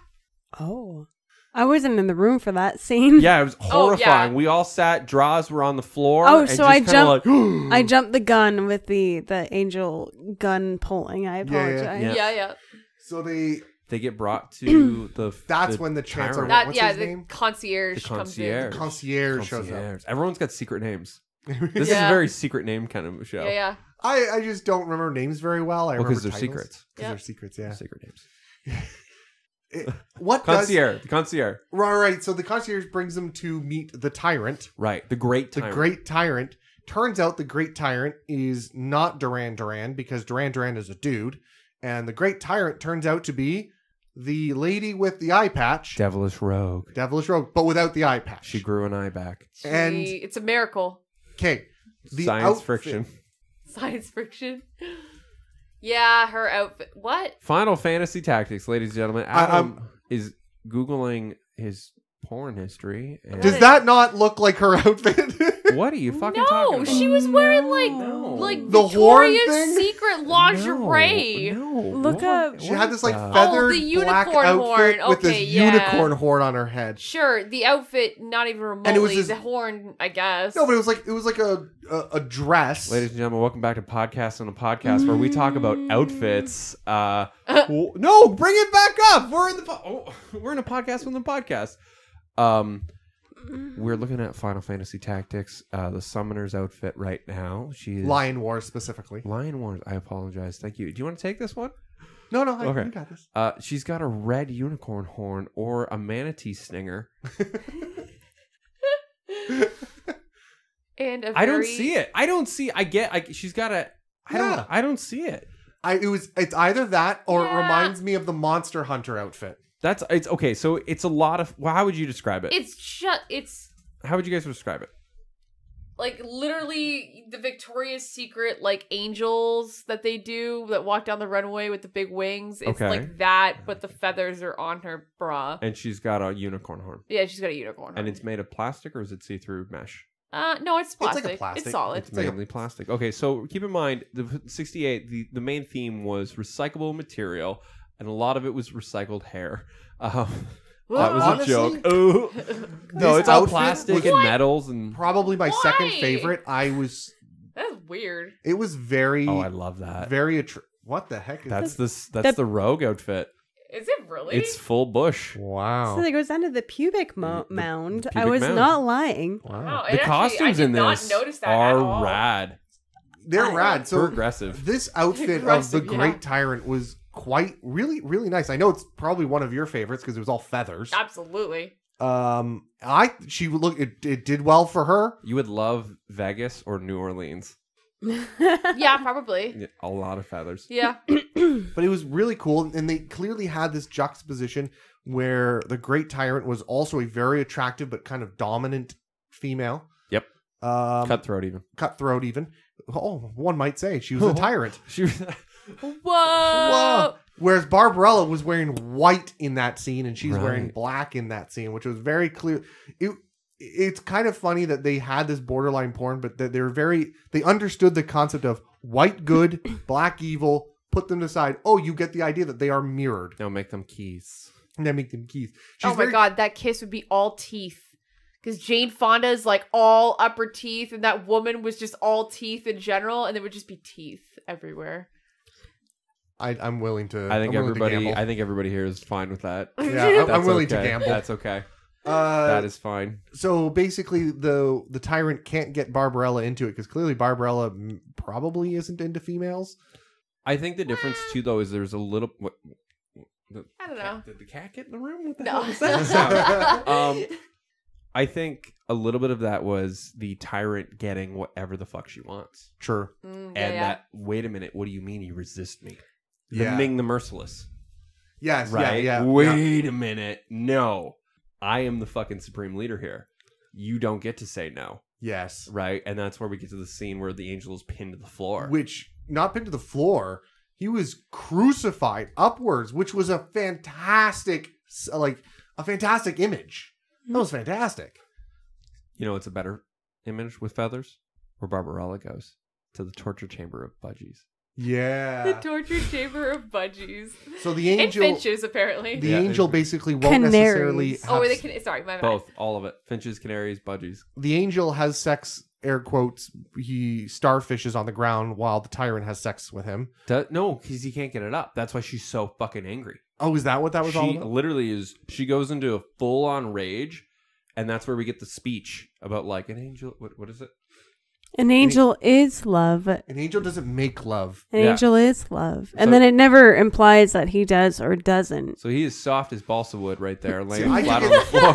i took it as she basically just raped him now whether or not that means he got up or not is a Tries, different but- question I mean, She I think she boots him out to her like to the like the people outside and then she goes into her chamber of dreams I didn't see Got the it. unicorn. to in that dream scene. about him. maybe maybe so where whereas barbarella as you mentioned gets put into a bird cage Yeah, a bird cage full of uh, what 200, 300 Birds. budgies, All finches, birds, yep. canaries, and they pis- proceed to rip her clothes off. Oh, and, poop in her hair. poop in her hair and peck everywhere. And it at first is horrifying. And then you kind of realize that the birds aren't really doing anything and they're just kind of quietly landing on her. Yep. And it's adorable. yeah they're just perching They're on just her like, hey. they're trying to make it scary but they're just perching And on Yeah, her. Jane. Fonda is acting her ass off in this scene because she's sort of trying not to laugh, also giggle, and be like, no, stop, ah. And there's just fucking birds everywhere. And it's just, it's scary if you're not into birds. And it's hilarious if you are into birds because it honestly looked like the the big glass coffins they'd put you in and then they'd fire a cannon of money at you and whatever you can catch is yours yeah. if you get collect a certain amount. And that was full of uh very cheap end of life pet store birds. Oh yeah. I, see, all I could think was it felt like the equivalent of if you wanted to torture 007 and you shoved him in a small room with a bunch of kittens yeah we got kittens and it was just adorable. And he's just like no! And but he was trying his hardest to act as if it's terrible but it's kittens going meow and just pouncing on. It. it was I- I don't I find birds fairly cute most birds. But uh, so I, it was just it, it was just hilarious and cute to me. I'm like oh they're adorable. Oh dr no had the chamber full of tarantulas. Well we amped up our game 007 get your tight little ass in the pocket cobra room. And it's like oh no And then basically you're not expecting it, but suddenly the floor opens up underneath her and she goes snakes and laddering down a, a chute. and To we discover the entire city is made and built off of trapdoors and tubes Yep, tubes lots of tubes. tubes and trapdoors. it's all trapdoors and, And there's one in the prison. the warp zone, if you will. And she didn't even blow the whistle. I absolutely this next scene was my favorite in the whole movie and is so good. It's a secret. Nintendo Geek, what is this guy's This- actual name? Uh you're talking about Dildano. Commander? Commander Dildo. Commander he's Dildo. the uh he's like the commander of the the uh resistance. That we are just introduced to, and I think there's 30 minutes left in the movie. Yeah. It I just love this entire scene is a bumbling fools he where he The you know, mushroom cut, the mustache. the mushroom cut. God he's a goofy he looks like my guy. Elden Ring character. Thought the same thing. Amazing. Fuck. And I just love the immediately it sets the tone for the scene where he's calling everything secret, like the secret door, the secret key. And at first it's kind of taken seriously because the things he's saying, the secret tunnels, makes sense. And then slowly as the scene progresses, he's like, Quick, I've got your secret outfit. Here, here's your secret necklace. Go behind I'll the put secret it, wall. Go behind the secret wall. I'll put it around your secret neck. And you realize that it's getting he just calls everything secret. And I Yeah. love that growth throughout where you're like, is this a thing? And He's then convinced himself that it's important, and if he tells enough people that it's important, they'll start believing. and there's a level of me that they went, oh, he's the leader of the resistance. I went, is he just insane? And he thinks he's the leader. Turns out he actually is. No, he's the secret leader. He's the secret leader. Yeah. But I do love that there is the like one of the humans, one of the other resistance guys goes, I, "All right, leave." He goes, "Yes, through the tunnel." And then he activates the tunnel switch, and it doesn't work. And he tries it once, and then the handle breaks on it. and then he goes, Everything is going wrong. then he's like, everything's going wrong. The door. The door. The door. The door. Yeah, the Just door. use the door. Close the door, please. God. Uh, in which case, Barbarella says, Well, what can I do to repay you for saving my life from the room full of deadly birds? And he looks at her dead in the eyes and goes, Squish, squish. And what he actually means is he wants to experience something he's never experienced before. And then he frantically looks through the entire fucking room for the magic pill for the Yep. secret pills. for the For the pill secret pills. for the pills and he wants to experience earth sex modern earth sex cutting edge earth sex and jane or barbarella is at this point being like fuck that and lays down and immediately starts like taking some of her outfit off well, because she's basically fucked her way to this position using unearthly methods. Right. right And right. he's like, oh, no, no, I don't want that. it's barbaric what are you kidding me i'm Well, she landed, and then everyone just started expecting that of her. So she's like, I guess. I thought it Wait, was you don't great. pay with things with for money? It's like, no, we don't pay for things with money. It's like, what the fucking kind of society is this? I I loved that twist that we were all expecting it. Barbarella was expecting it, and then he just flicked the He flipped flips the it, and then I we go into a great scene. A, A real- great scene. Real awkward scene of them playing internal pong with each other's internal bits. yeah, they literally just sit there and vibrate. With their hands hold With their flat hands against each other. Yeah. And I'm not 100% sure how much of that was from the comic, Oh, I'm sure some of it was. but just for the way that was shot, with the it was wide and then it zooms in really quick in a way, uh, and then they just lock eyes and her hair starts to get flustered and then curls in slow motion or in stop motion and then he is still vibrating and she's kind of just done with him yeah. and bored and then she touches his hands again and it just starts smoking and he continues to vibrate and almost get more and more violent and Yeah. then the guy walks in This general, the, the general second in or the second in command walks in and is like what the fuck And she's just like, oh, hey, sorry. Yeah. uh." and he still has his hand out Yeah, like, vibrating. just going. and and she kind of takes his hand off. She kind of takes her hands off, looks at the general, goes, "Can I like? Can I help you?" And What he's do like, you "Uh, I'll wait." Okay, and then she goes and puts her hand Well, she, back goes- on. she looks at him and goes, "Oh, sorry, you're not done." And then she puts her hand back up, and it's like, "Ooh." Nintendo Geek you get something Uh, it's funny because they had an Italian actor uh, originally cast for him. Uh, and it was during that scene that he was kind of like uh, screen testing.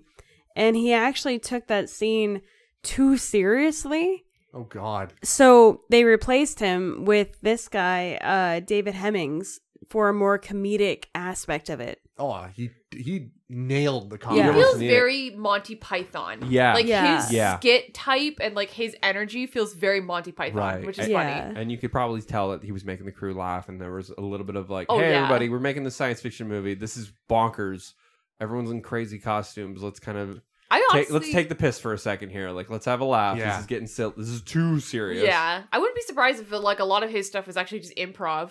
Like if I they w- just said, yeah. if they just said, Go. okay, you know what? Here's a set. Go with it. Like Yeah. do what you want to do because he seems pretty pretty into it. Well, what can we tell you? Well, it's a secret meeting, okay, and and and because the script was so poorly, not poorly done, but just kind of piecemeal put together so Yeah. quickly or cheaply done because they were filming two movies at the same time. He walked in, and I wouldn't be surprised if he showed up in the other movie and had a more prominent role. Mm. Yeah, I've never seen the other one either. So. I just found. Wait a minute. Oh.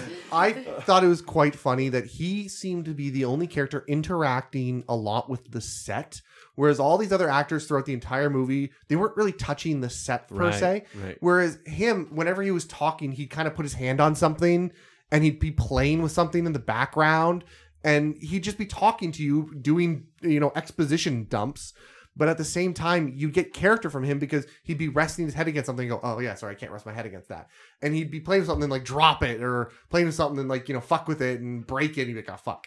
And I felt like that was very different from a lot of the other actors. I felt like he was getting into the environment a lot more, which is what made Yeah. him so good to me. That's where you get uh, the guy with the one eye, the robot eye in Man or Boba Fett, where he does like the spin shoot in the in the trench coat, because you know he was on set for only a couple of days, and he got his name in a credit, and he's in Star Wars, so he's gonna get the. Oh, he's gonna like, put all the nuts, effort- all of the, he's gonna like overact the shit out of it because he's like, I'm gonna get, I'm gonna try to get noticed here. Yeah. Yeah. not for this movie, but for anything else I can be in, kind of thing. Yeah. So Barbarella gets the super secret outfit, which leaves nothing secretive about her right boob at all. That was the right one. Yeah. Because her left boob's covered. It's all, you know, it's all covered, but her right boob just has a piece of plastic that just show I don't want to say it shows off the boob because it- it's, you know, it's, it's muffled and it's kind of weird. The plastic does some weird shit. But clearly throughout the entire filming, it must have caused her problems because she just adjusted that on every scene. Oh yeah, and they just left that in there because you know why not? Why not? which this ultimately led to her getting caught again. She she gets help getting back into the castle, and it leads her to being caught to I think what is my second favorite scene of the entire movie. The church organ. The the, the organ that plays with organs. The oh, church. Oh, the- yeah, the, church organ. Yeah. No, she gets transported up and like yeeted out into a hallway.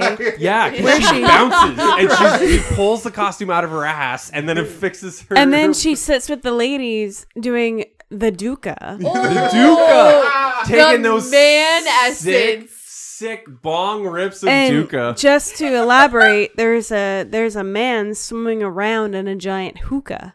And there's a bunch of women kind of taking hits off of like a, a hookah pipe Yeah. of the essence of man. Yeah, There's a room full literally. of giant blow up pillows. There's a woman uh, strapped to like the ceiling, and another woman running a torch under her feet. I want to be clear. The lady yeah. hanging from the ceiling is strapped, and she's got bondage gear that's just she's just straight up naked. Yeah. The Yeah. only thing covered is her vajayjay. Yeah, Yeah, yeah.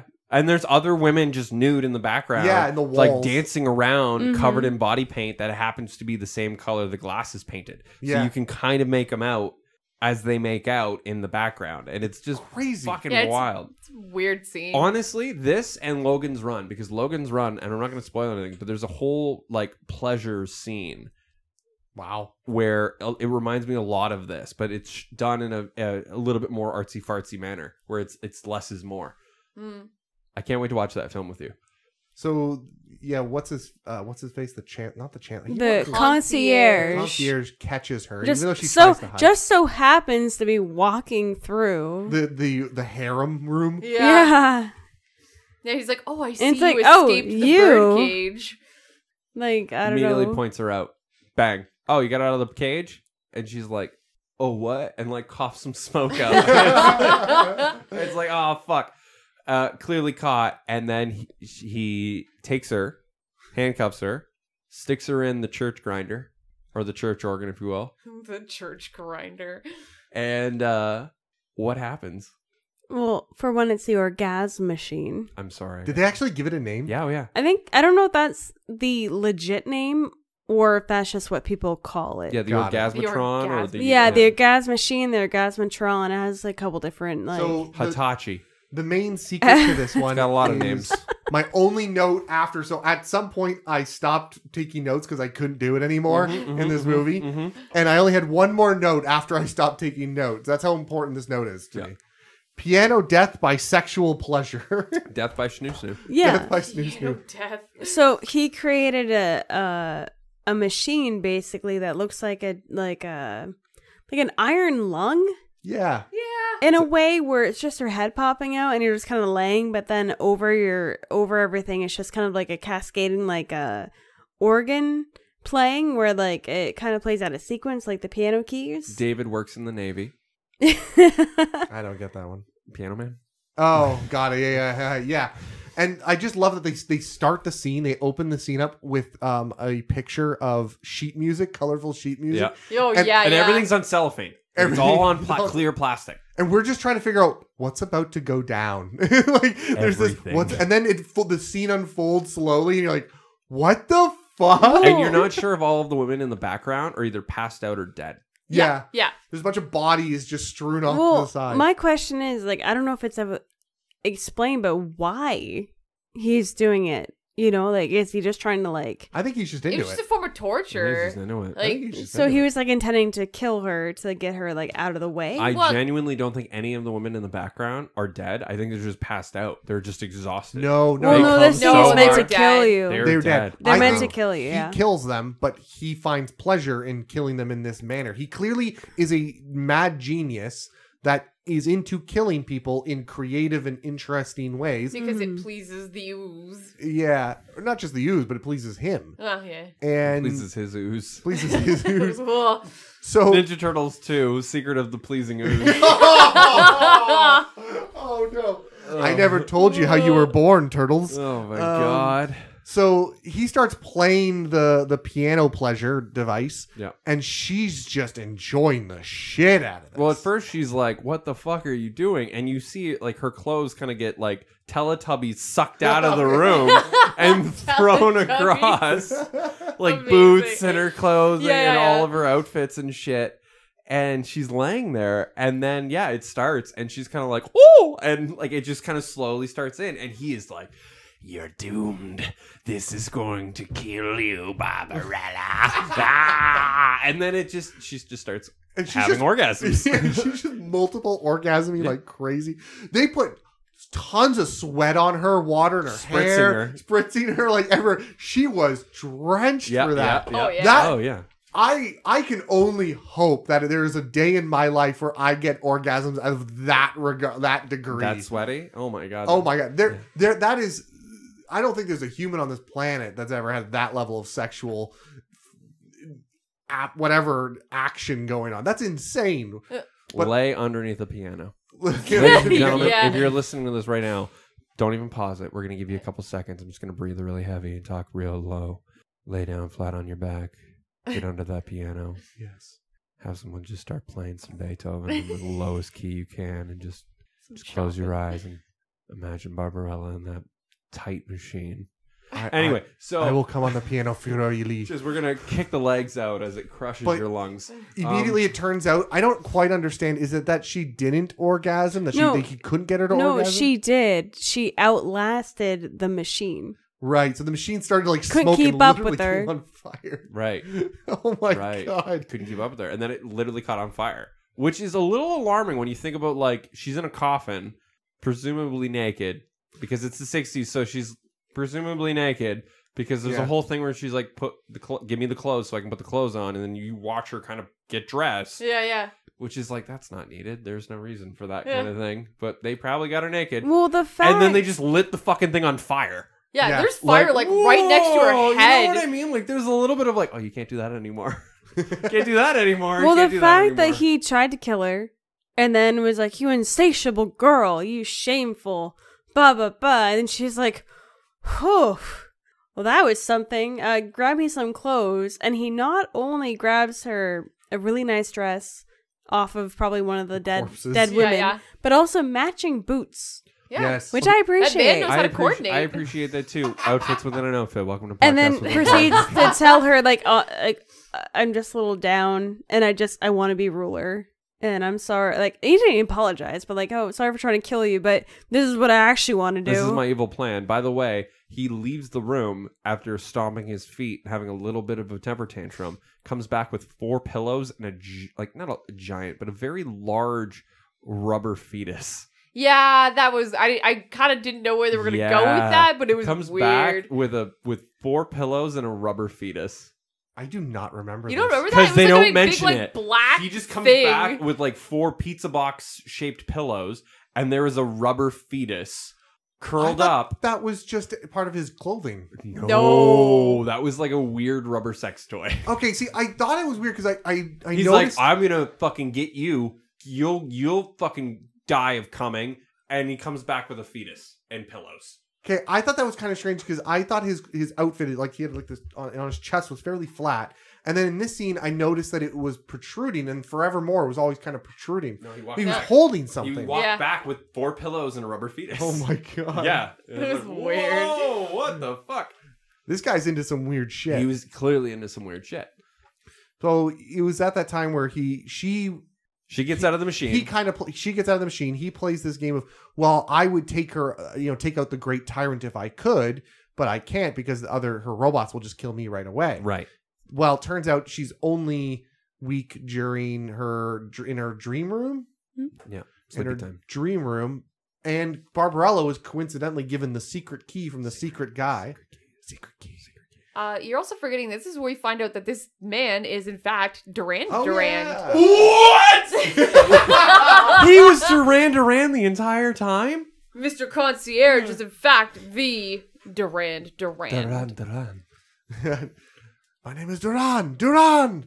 Um. So yeah, he, he he's like, yeah. Well, I wanted to kill her the whole time because she's evil tyrant. That's what I've been wanting to do. And she's like, great. I got the secret Our key. plans line up. Our we can actually let's go back, right? Yeah, let's get let's kill her. Let's liberate the planet, and Yeah. then I'll come back with Earth to Earth to you. Yeah. and she's like fucking sweet.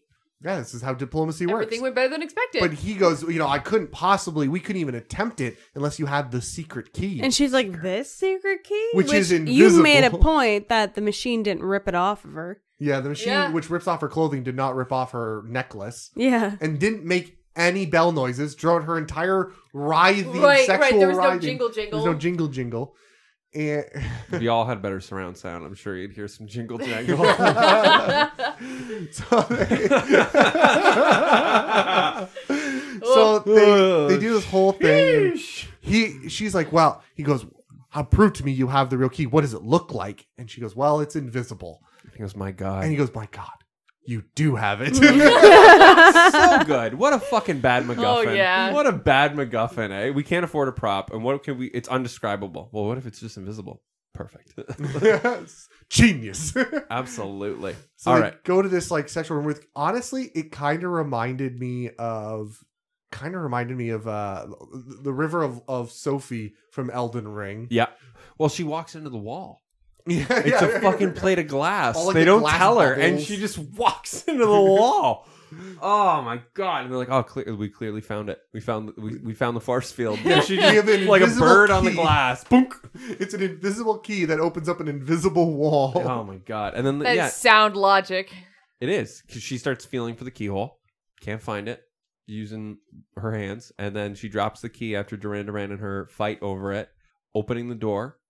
Durand Durand rushes in the room after shoving Barbarella into the secret dream chamber, grabbing the other invisible key, and then th- leaving and throwing it into the waters, I'm the, guessing. the dream liquid Yeah, I don't know. and sealing the great tyrant and Barbarella in the bedroom chambers. and then he has the best evil laugh. He just laughs his ass off.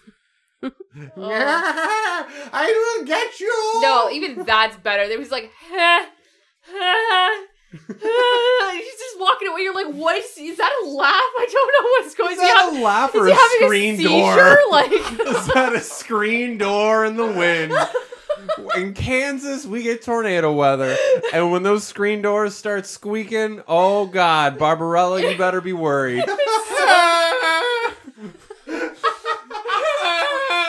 was so bad.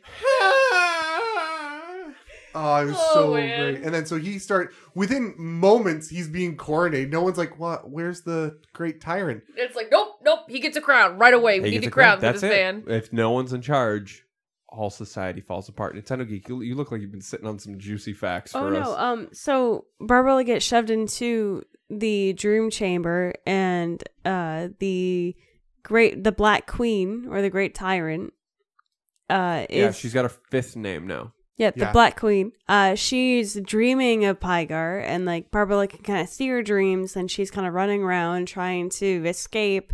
And then she finally runs over to the tyrant who is sleeping in a bed of like a a woman, kind of like laid on her back with her arms up.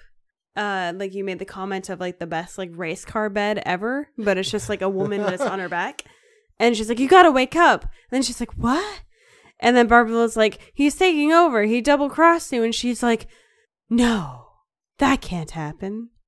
And then they, uh, uh, they, apparently, what there is, uh, this never made it into the movie, but apparently there is a, uh, seduction scene between Barbarella and the Black Queen on the bed. Why the fuck didn't that make it into the movie? So there's uh, photographs of it uh, showing footage of seduction scene between Barbarella and the Black Queen. However, the footage has never appeared in any print of the film.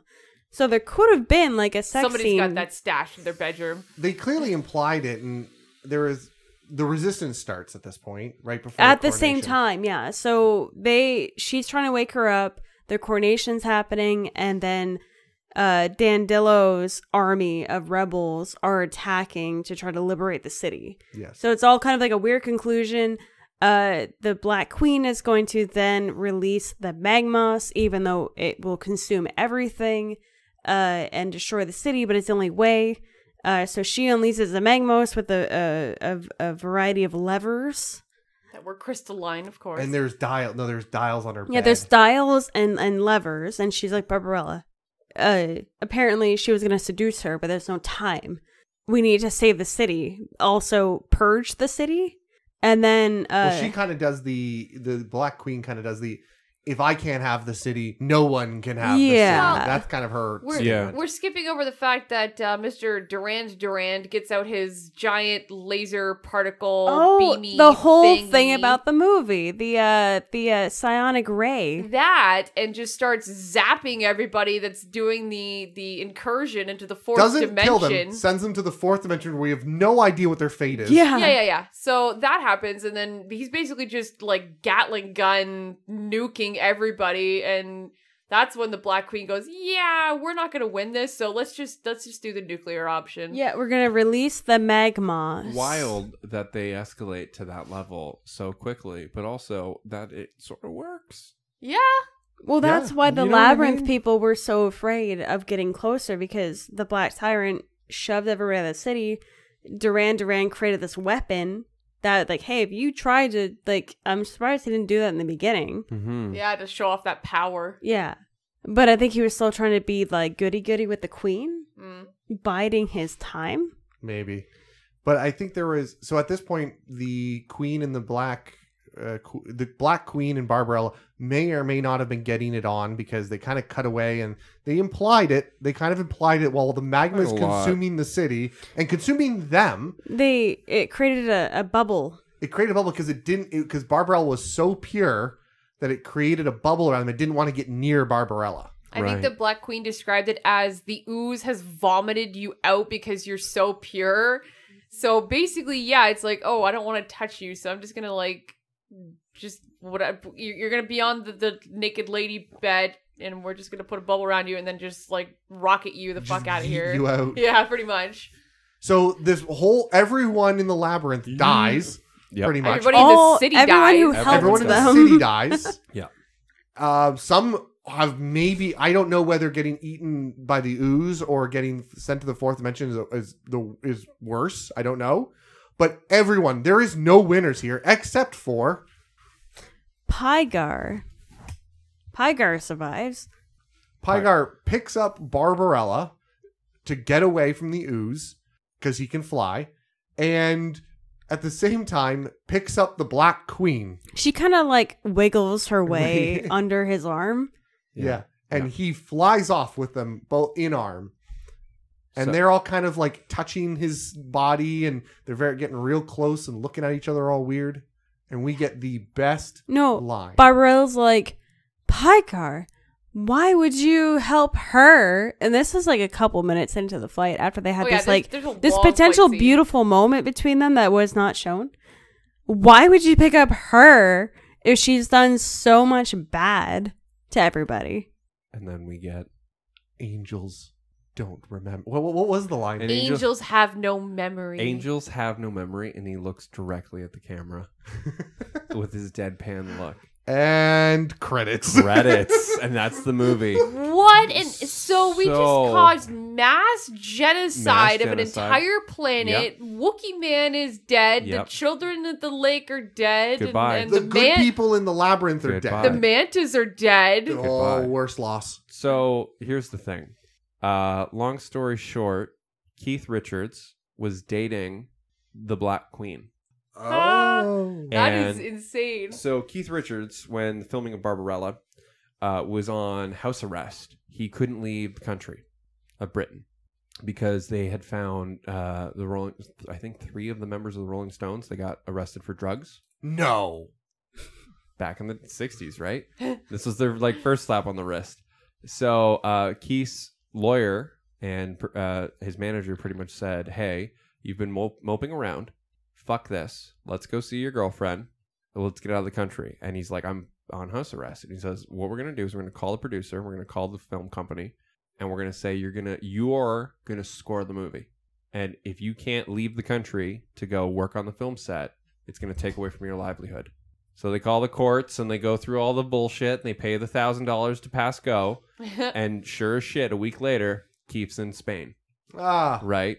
So Keith's in Spain with his fixer. When you're rich, crime doesn't. It's just Doesn't not- matter, Yeah, yeah. right? And they're doing the VIP treatment. They're going through the film sets. They're seeing all the costumes. Stuff's fucking wild, right? Having sex on people beds. No, no, not yet. And uh, Jane Fonda was notorious for hosting wild parties after the shoots, after the days of filming. Oh, I'm sure. Wild parties, which leans more and more into like how much of the money was going towards the movie and how much of the money was actually just going towards like we're in Europe fucking partying as hard as we want, doing Yep. anything. So the fixer, uh, Jane Fonda's only rule was that you were to bring something to her parties. So Keith asked the fixer to make cake. So the fixer goes and he hits up every single fucking person he knows in Spain to get hash. Oh no. And he gets and he makes a fucking killer hash cake. Huh. He get he gets a killer hash cake. And fucking straight out and this is like there's there's rumors and stories passed around and stuff like that. There's a lot of a lot of stories even from Jane Fonda. Some she remembers, some she doesn't because she's slightly older and excessive drugs and alcohol will do that to you. Uh, halfway through the party, Keith comes up to the producer and is like, "Hey, man, uh, the cake isn't hitting me. We're on our second piece. You're embarrassing me." And I told everybody, "I'm fucking Keith Richards. I'm from the Rolling Goddamn Stones, and it's not hitting us. What the fuck?" Like your guy that like I'm paying you to be my fixer, and your guy fucked you, and now I look like an idiot because I showed up with brownies that are just brownies. Hard cut a few minutes later. So everyone's super fucking stoned, and there's interviews where they talk to Pizar or Pygar, and he's like, "I didn't need wings. I was high for fucking days. Oh, every Man. every day on set, he would like. There's scenes where if you rewatch certain bits of those scenes from Barbarella." The reason why you're like, oh, he's so like, look at how well he's acting. He's so blind. This is amazing. He's fucking gone. Half the seemed like cast. Yeah, half the did. cast, if not if not half more, the cast is just fucking looped out of their goddamn brain because they're so high, and they're just going through this movie, You could totally tell. riding it out. So that whole like the angel has no memory. He's like trying to hold back giggles because he's so fucking high Probably couldn't remember and his he lines. couldn't he couldn't that's like part of it is that like they were just throwing so much money and wealth around and then being Jane Fonda and Keith Richards and all of like everybody wants to come party on the set of Barbarella. Oh my god. Oh, all yeah. of the famous people want to part like the like we have this huge crystal palace. Do you guys want to do copious amounts of drugs and alcohol and we're going to have the Rolling Stones play? like prime six, 1960s like era Oh yeah. like, like just un, unfathomable amounts of uh just indulgence. You know, those you know what I mean? Like the whole film and the whole like the the vibe of it afterwards, and then like you get into the Flash Gordon, you get into The Flesh Gordon, you get in this whole era of like.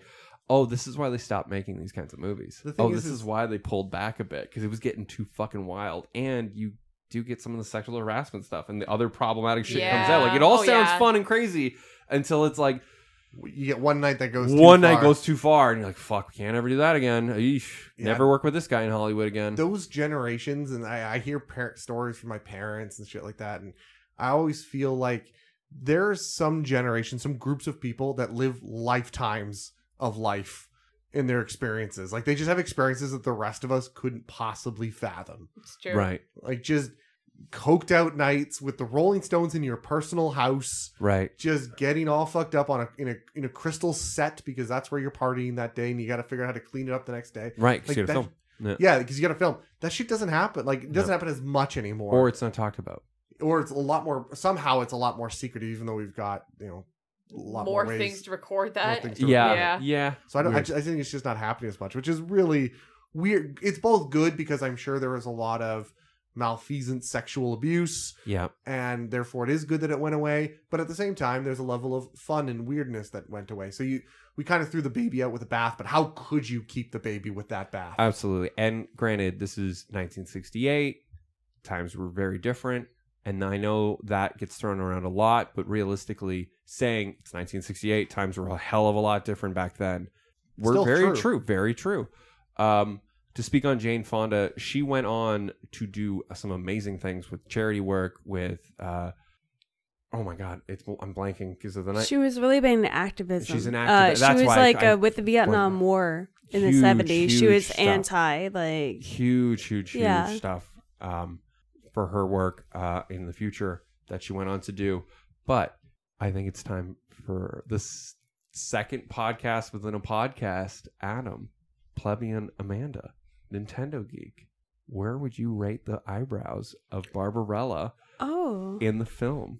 Of Barbarella. I Not mean, just not Jane and not Durand. Fonda. Durand. Well, which which where are we talking eyebrows in general? Because I've got mine picked out already. I mean, they were fairly regular as eyebrows go. In the Maybe like a yeah. bit thin. Yeah. Um, I would say, what is the what is the max on the eyebrow scale? Well, I think uh the Dune eyebrows were pretty fucking wild. yeah, yeah, yeah, Yeah, Those are pretty those crazy. were wild. I would honestly, I'm gonna say for mine, it would be the gentleman on the ice planet. As soon as he took off his his fur suit, that will mark his entire body being an eyebrow for that one. And in which case, Amazing. that will be You the mean eyebrow. uh, Mark Hand? Mark Hand will be the eyebrow for the eyebrow. If anyone would protest no, his I think that man. that man's eyebrow, eyebrow. like, no, I would holy say uh. Durand Durand had the some Great wild ones. Tyrant as the Devilish Rogues Oh, Bush out of the little Oh, peekaboo we Oh, window. never yeah. we, the little peekaboo window versus his chest hair, eh? All right, so we'll we'll we'll lock that up to the bush and the brow, the Beauty and the Beast, if you will, for nice. uh, Barbarella. Let's go around the table before we close out the night. Adam, what would you rate Barbarella, and would you watch it again?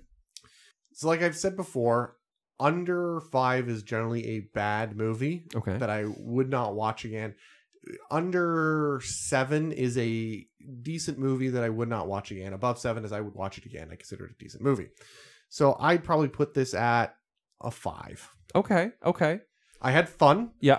Um, obviously, you guys know I missed dialogue because I was laughing so hard. It is a, it is like a it is you uh, would do some substances or have a few beverages For and sure. kind of put it on in the background and and not necessarily watch but like have on in the background and have a laugh yeah. kind of thing. You look over and go, "Oh fuck a tit," or "Oh fuck," like look at that psychedelic background piece kind of thing. Like it is Yeah. enjoyable. but it, it definitely it's not a good movie it doesn't fall it follows some formulaic math but it's i could not track it had weird pacing it had massive problems as a movie but as an entertainment piece i was entertained It's artsy fartsy. it's artsy but it's artsy fartsy in not the standard artsy fartsy conventional way that Yeah. we're used to in a way.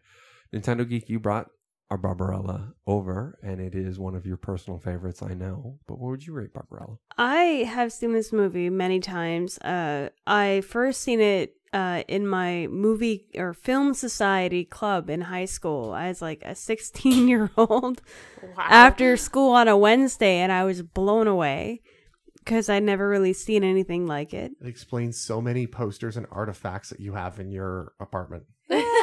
True, yeah, yeah. Uh, I've seen this movie not countless times, but at least I want to say 10 times Enough. now. You own it. Yeah, I own it. Uh, I've seen it like the first time was like what, like sixteen years ago.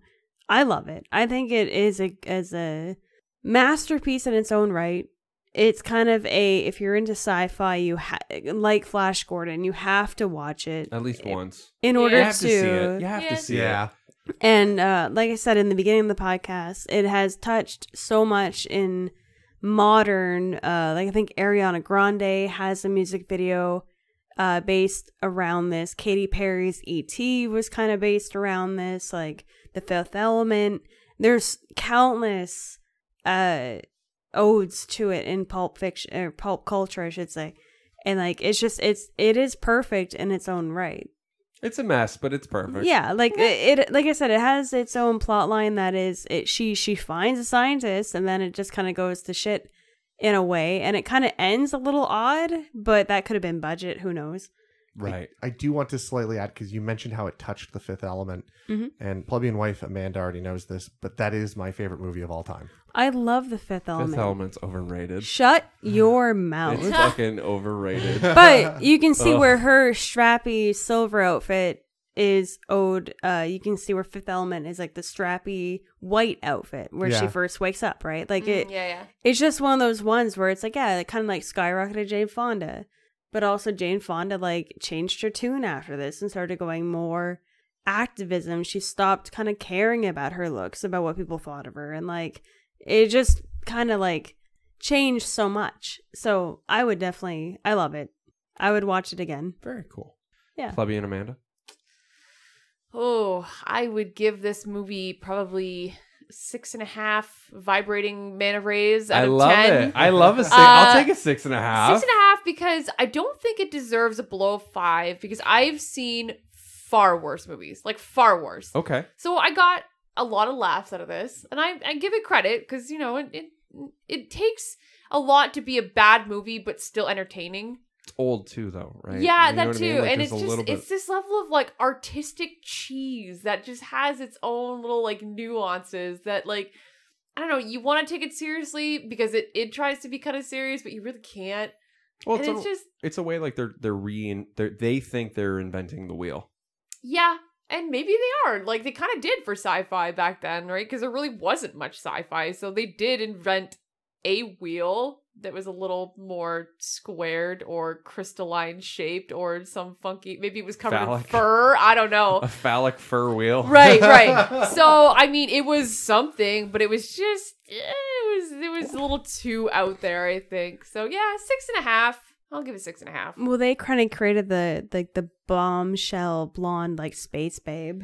Yeah, that's true. They've and really that, that became a cemented big that. trope for a while, especially after people actually went to space. And they had those like posters of like, oh, like Martian girl or like Moon woman, right? With the skimpy space suit. Gotta love Moon Woman. All I can think about is Moon Moon. I honestly, Moon you Moon? you were either a Martian girl or a Moon Woman kind of guy. You know what I mean? you know what I mean? I know, I know exactly what you mean. I'm not making fun of it at all. I love it. I love it. I love it. Okay, so six and a half. Yeah, six and a half. Six and a half, solid six and a half. Personally, um, as a science fiction piece, as an art piece, as uh, something that wasn't necessarily shown everywhere in the United States or even Canada, uh, for a film that might have even been banned in some states because of how Oh, of course. risque it was. Oh, for sure. Uh, it's a timepiece, man. I think we'd never. I think the the fact the amount of people who have either bought the rights, whether it's Robert Rodriguez or Amazon, uh, I think HBO even tried to make it into something, uh, and just kind of picked it up and went, "Fuck, what do we do with this?" Because there is so many. There is some good bones to this material. And there could be a great story here and a great either series or very sex positive, very uh, almost even now ahead of its time story. Whether that's a trans woman in the future, whether that's uh, a person of color, whether that's literally just the same story just redone in today's standard with a better CGI budget. I think Barbarella is important. It might not be great as a story. It might not be uh it might not stand on its own two feet, but honestly, I will I will go with a 7. I'll go 7 5 even. Uh I enjoy Barbarella. It's dumb as hell, but honestly, I in a weird sort of way, I'm, I don't remember what we gave Flash Gordon, but I feel like Barbarella is very close to like a Flash Gordon level, where if it had maybe one or two more big action set pieces and a little bit of a better budget or someone in control of that budget, we would have maybe got a little bit of a tighter film. But knowing that they filmed a movie, two movies back to back, so Barbarella and another film, uh, Destroyer, Destro- Destroyo, or whatever, uh, kind of means that they were splitting hairs with either their actors, their budgets, their set designers, their Well, costumes designers. Roger Vadim, he even said like he wasn't really that focused on the script, and that's what a lot of people on set were really kind of frustrated about. He was more into like the design and getting the shots and all that, so the script was kind of secondary. And I think if somebody would have put more thought into the script and more thought into like the storyboarding, that could have been where it could have been more like put together. Well, that's he true. just wanted a snuff film with his wife. in a way. Yeah. And I mean, and that's the same thing with look at Flash Gordon, right? The art director and the set builder went way off the fucking rails and started building other planets and other stuff. And then finally, when the director and the producers showed up, they went, "Yo, we can't use any of this, and you're we're way over budget. You have to throw half of this stuff out." And they weren't even able to film. I think Barbarella is enjoyable. I think it's a hot mess. It's definitely a hot mess, but uh, yeah. it's Yeah. it's great and it, it it has its its own timepiece it's got its own it's got a killer soundtrack and it's enjoyable um you It's actually uh, listed among the 100 most amusingly bad movies ever made in the uh, Glo- or Golden Raspberry Award. It deserves that. it Yeah. deserves that It's- i'll So, give yeah. it that i'll give It, barbarella it, that it knows at the time it may not have known it was going to be bad. It didn't know it was going to be a cult movie, but it's definitely like, hey, it's from 1968 and we're still talking about it. What, 50 years? No, almost 60 years later. yeah Yeah.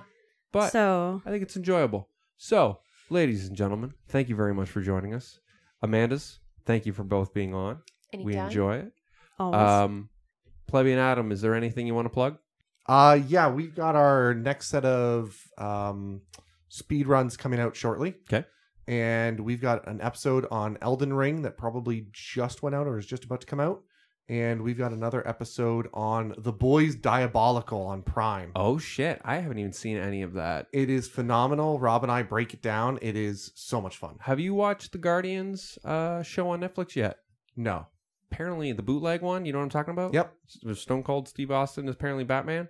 No, I didn't know he was in that as Batman, but I know about the show you're talking about. Yeah, apparently it's phenomenal. Oh, okay. Apparently it's phenomenal. So, So, I yeah, can't come wait. on there. Talk about. We're all playing Elden Ring right now. We We are just all spent- playing Oh, onion we're rings. all we playing can't Elden get Ring. our hands out of those onion rings. We're we're gonna have a uh, digital love on. We've got two new games coming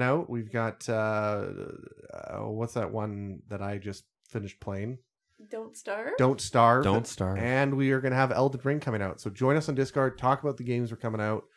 Uh, join us on Cephalopod, the podcast app. And that's where you can find us. Where can we help you and find you? I'm at Geek Movie House. Uh, I am at Nintendo underscore geek on Instagram. I post photos. I'm not. mm, Yeah. Cool. I'm at Geek Movie House on all the things. Uh, don't forget to like, subscribe, hit us up also on the iTunes. Uh, rating us and reviewing us just helps push us and shares us with a brighter, a broader community and amount of people to see. Thank you very much, everybody, and uh, we'll see you again. Love. Love, Love. love.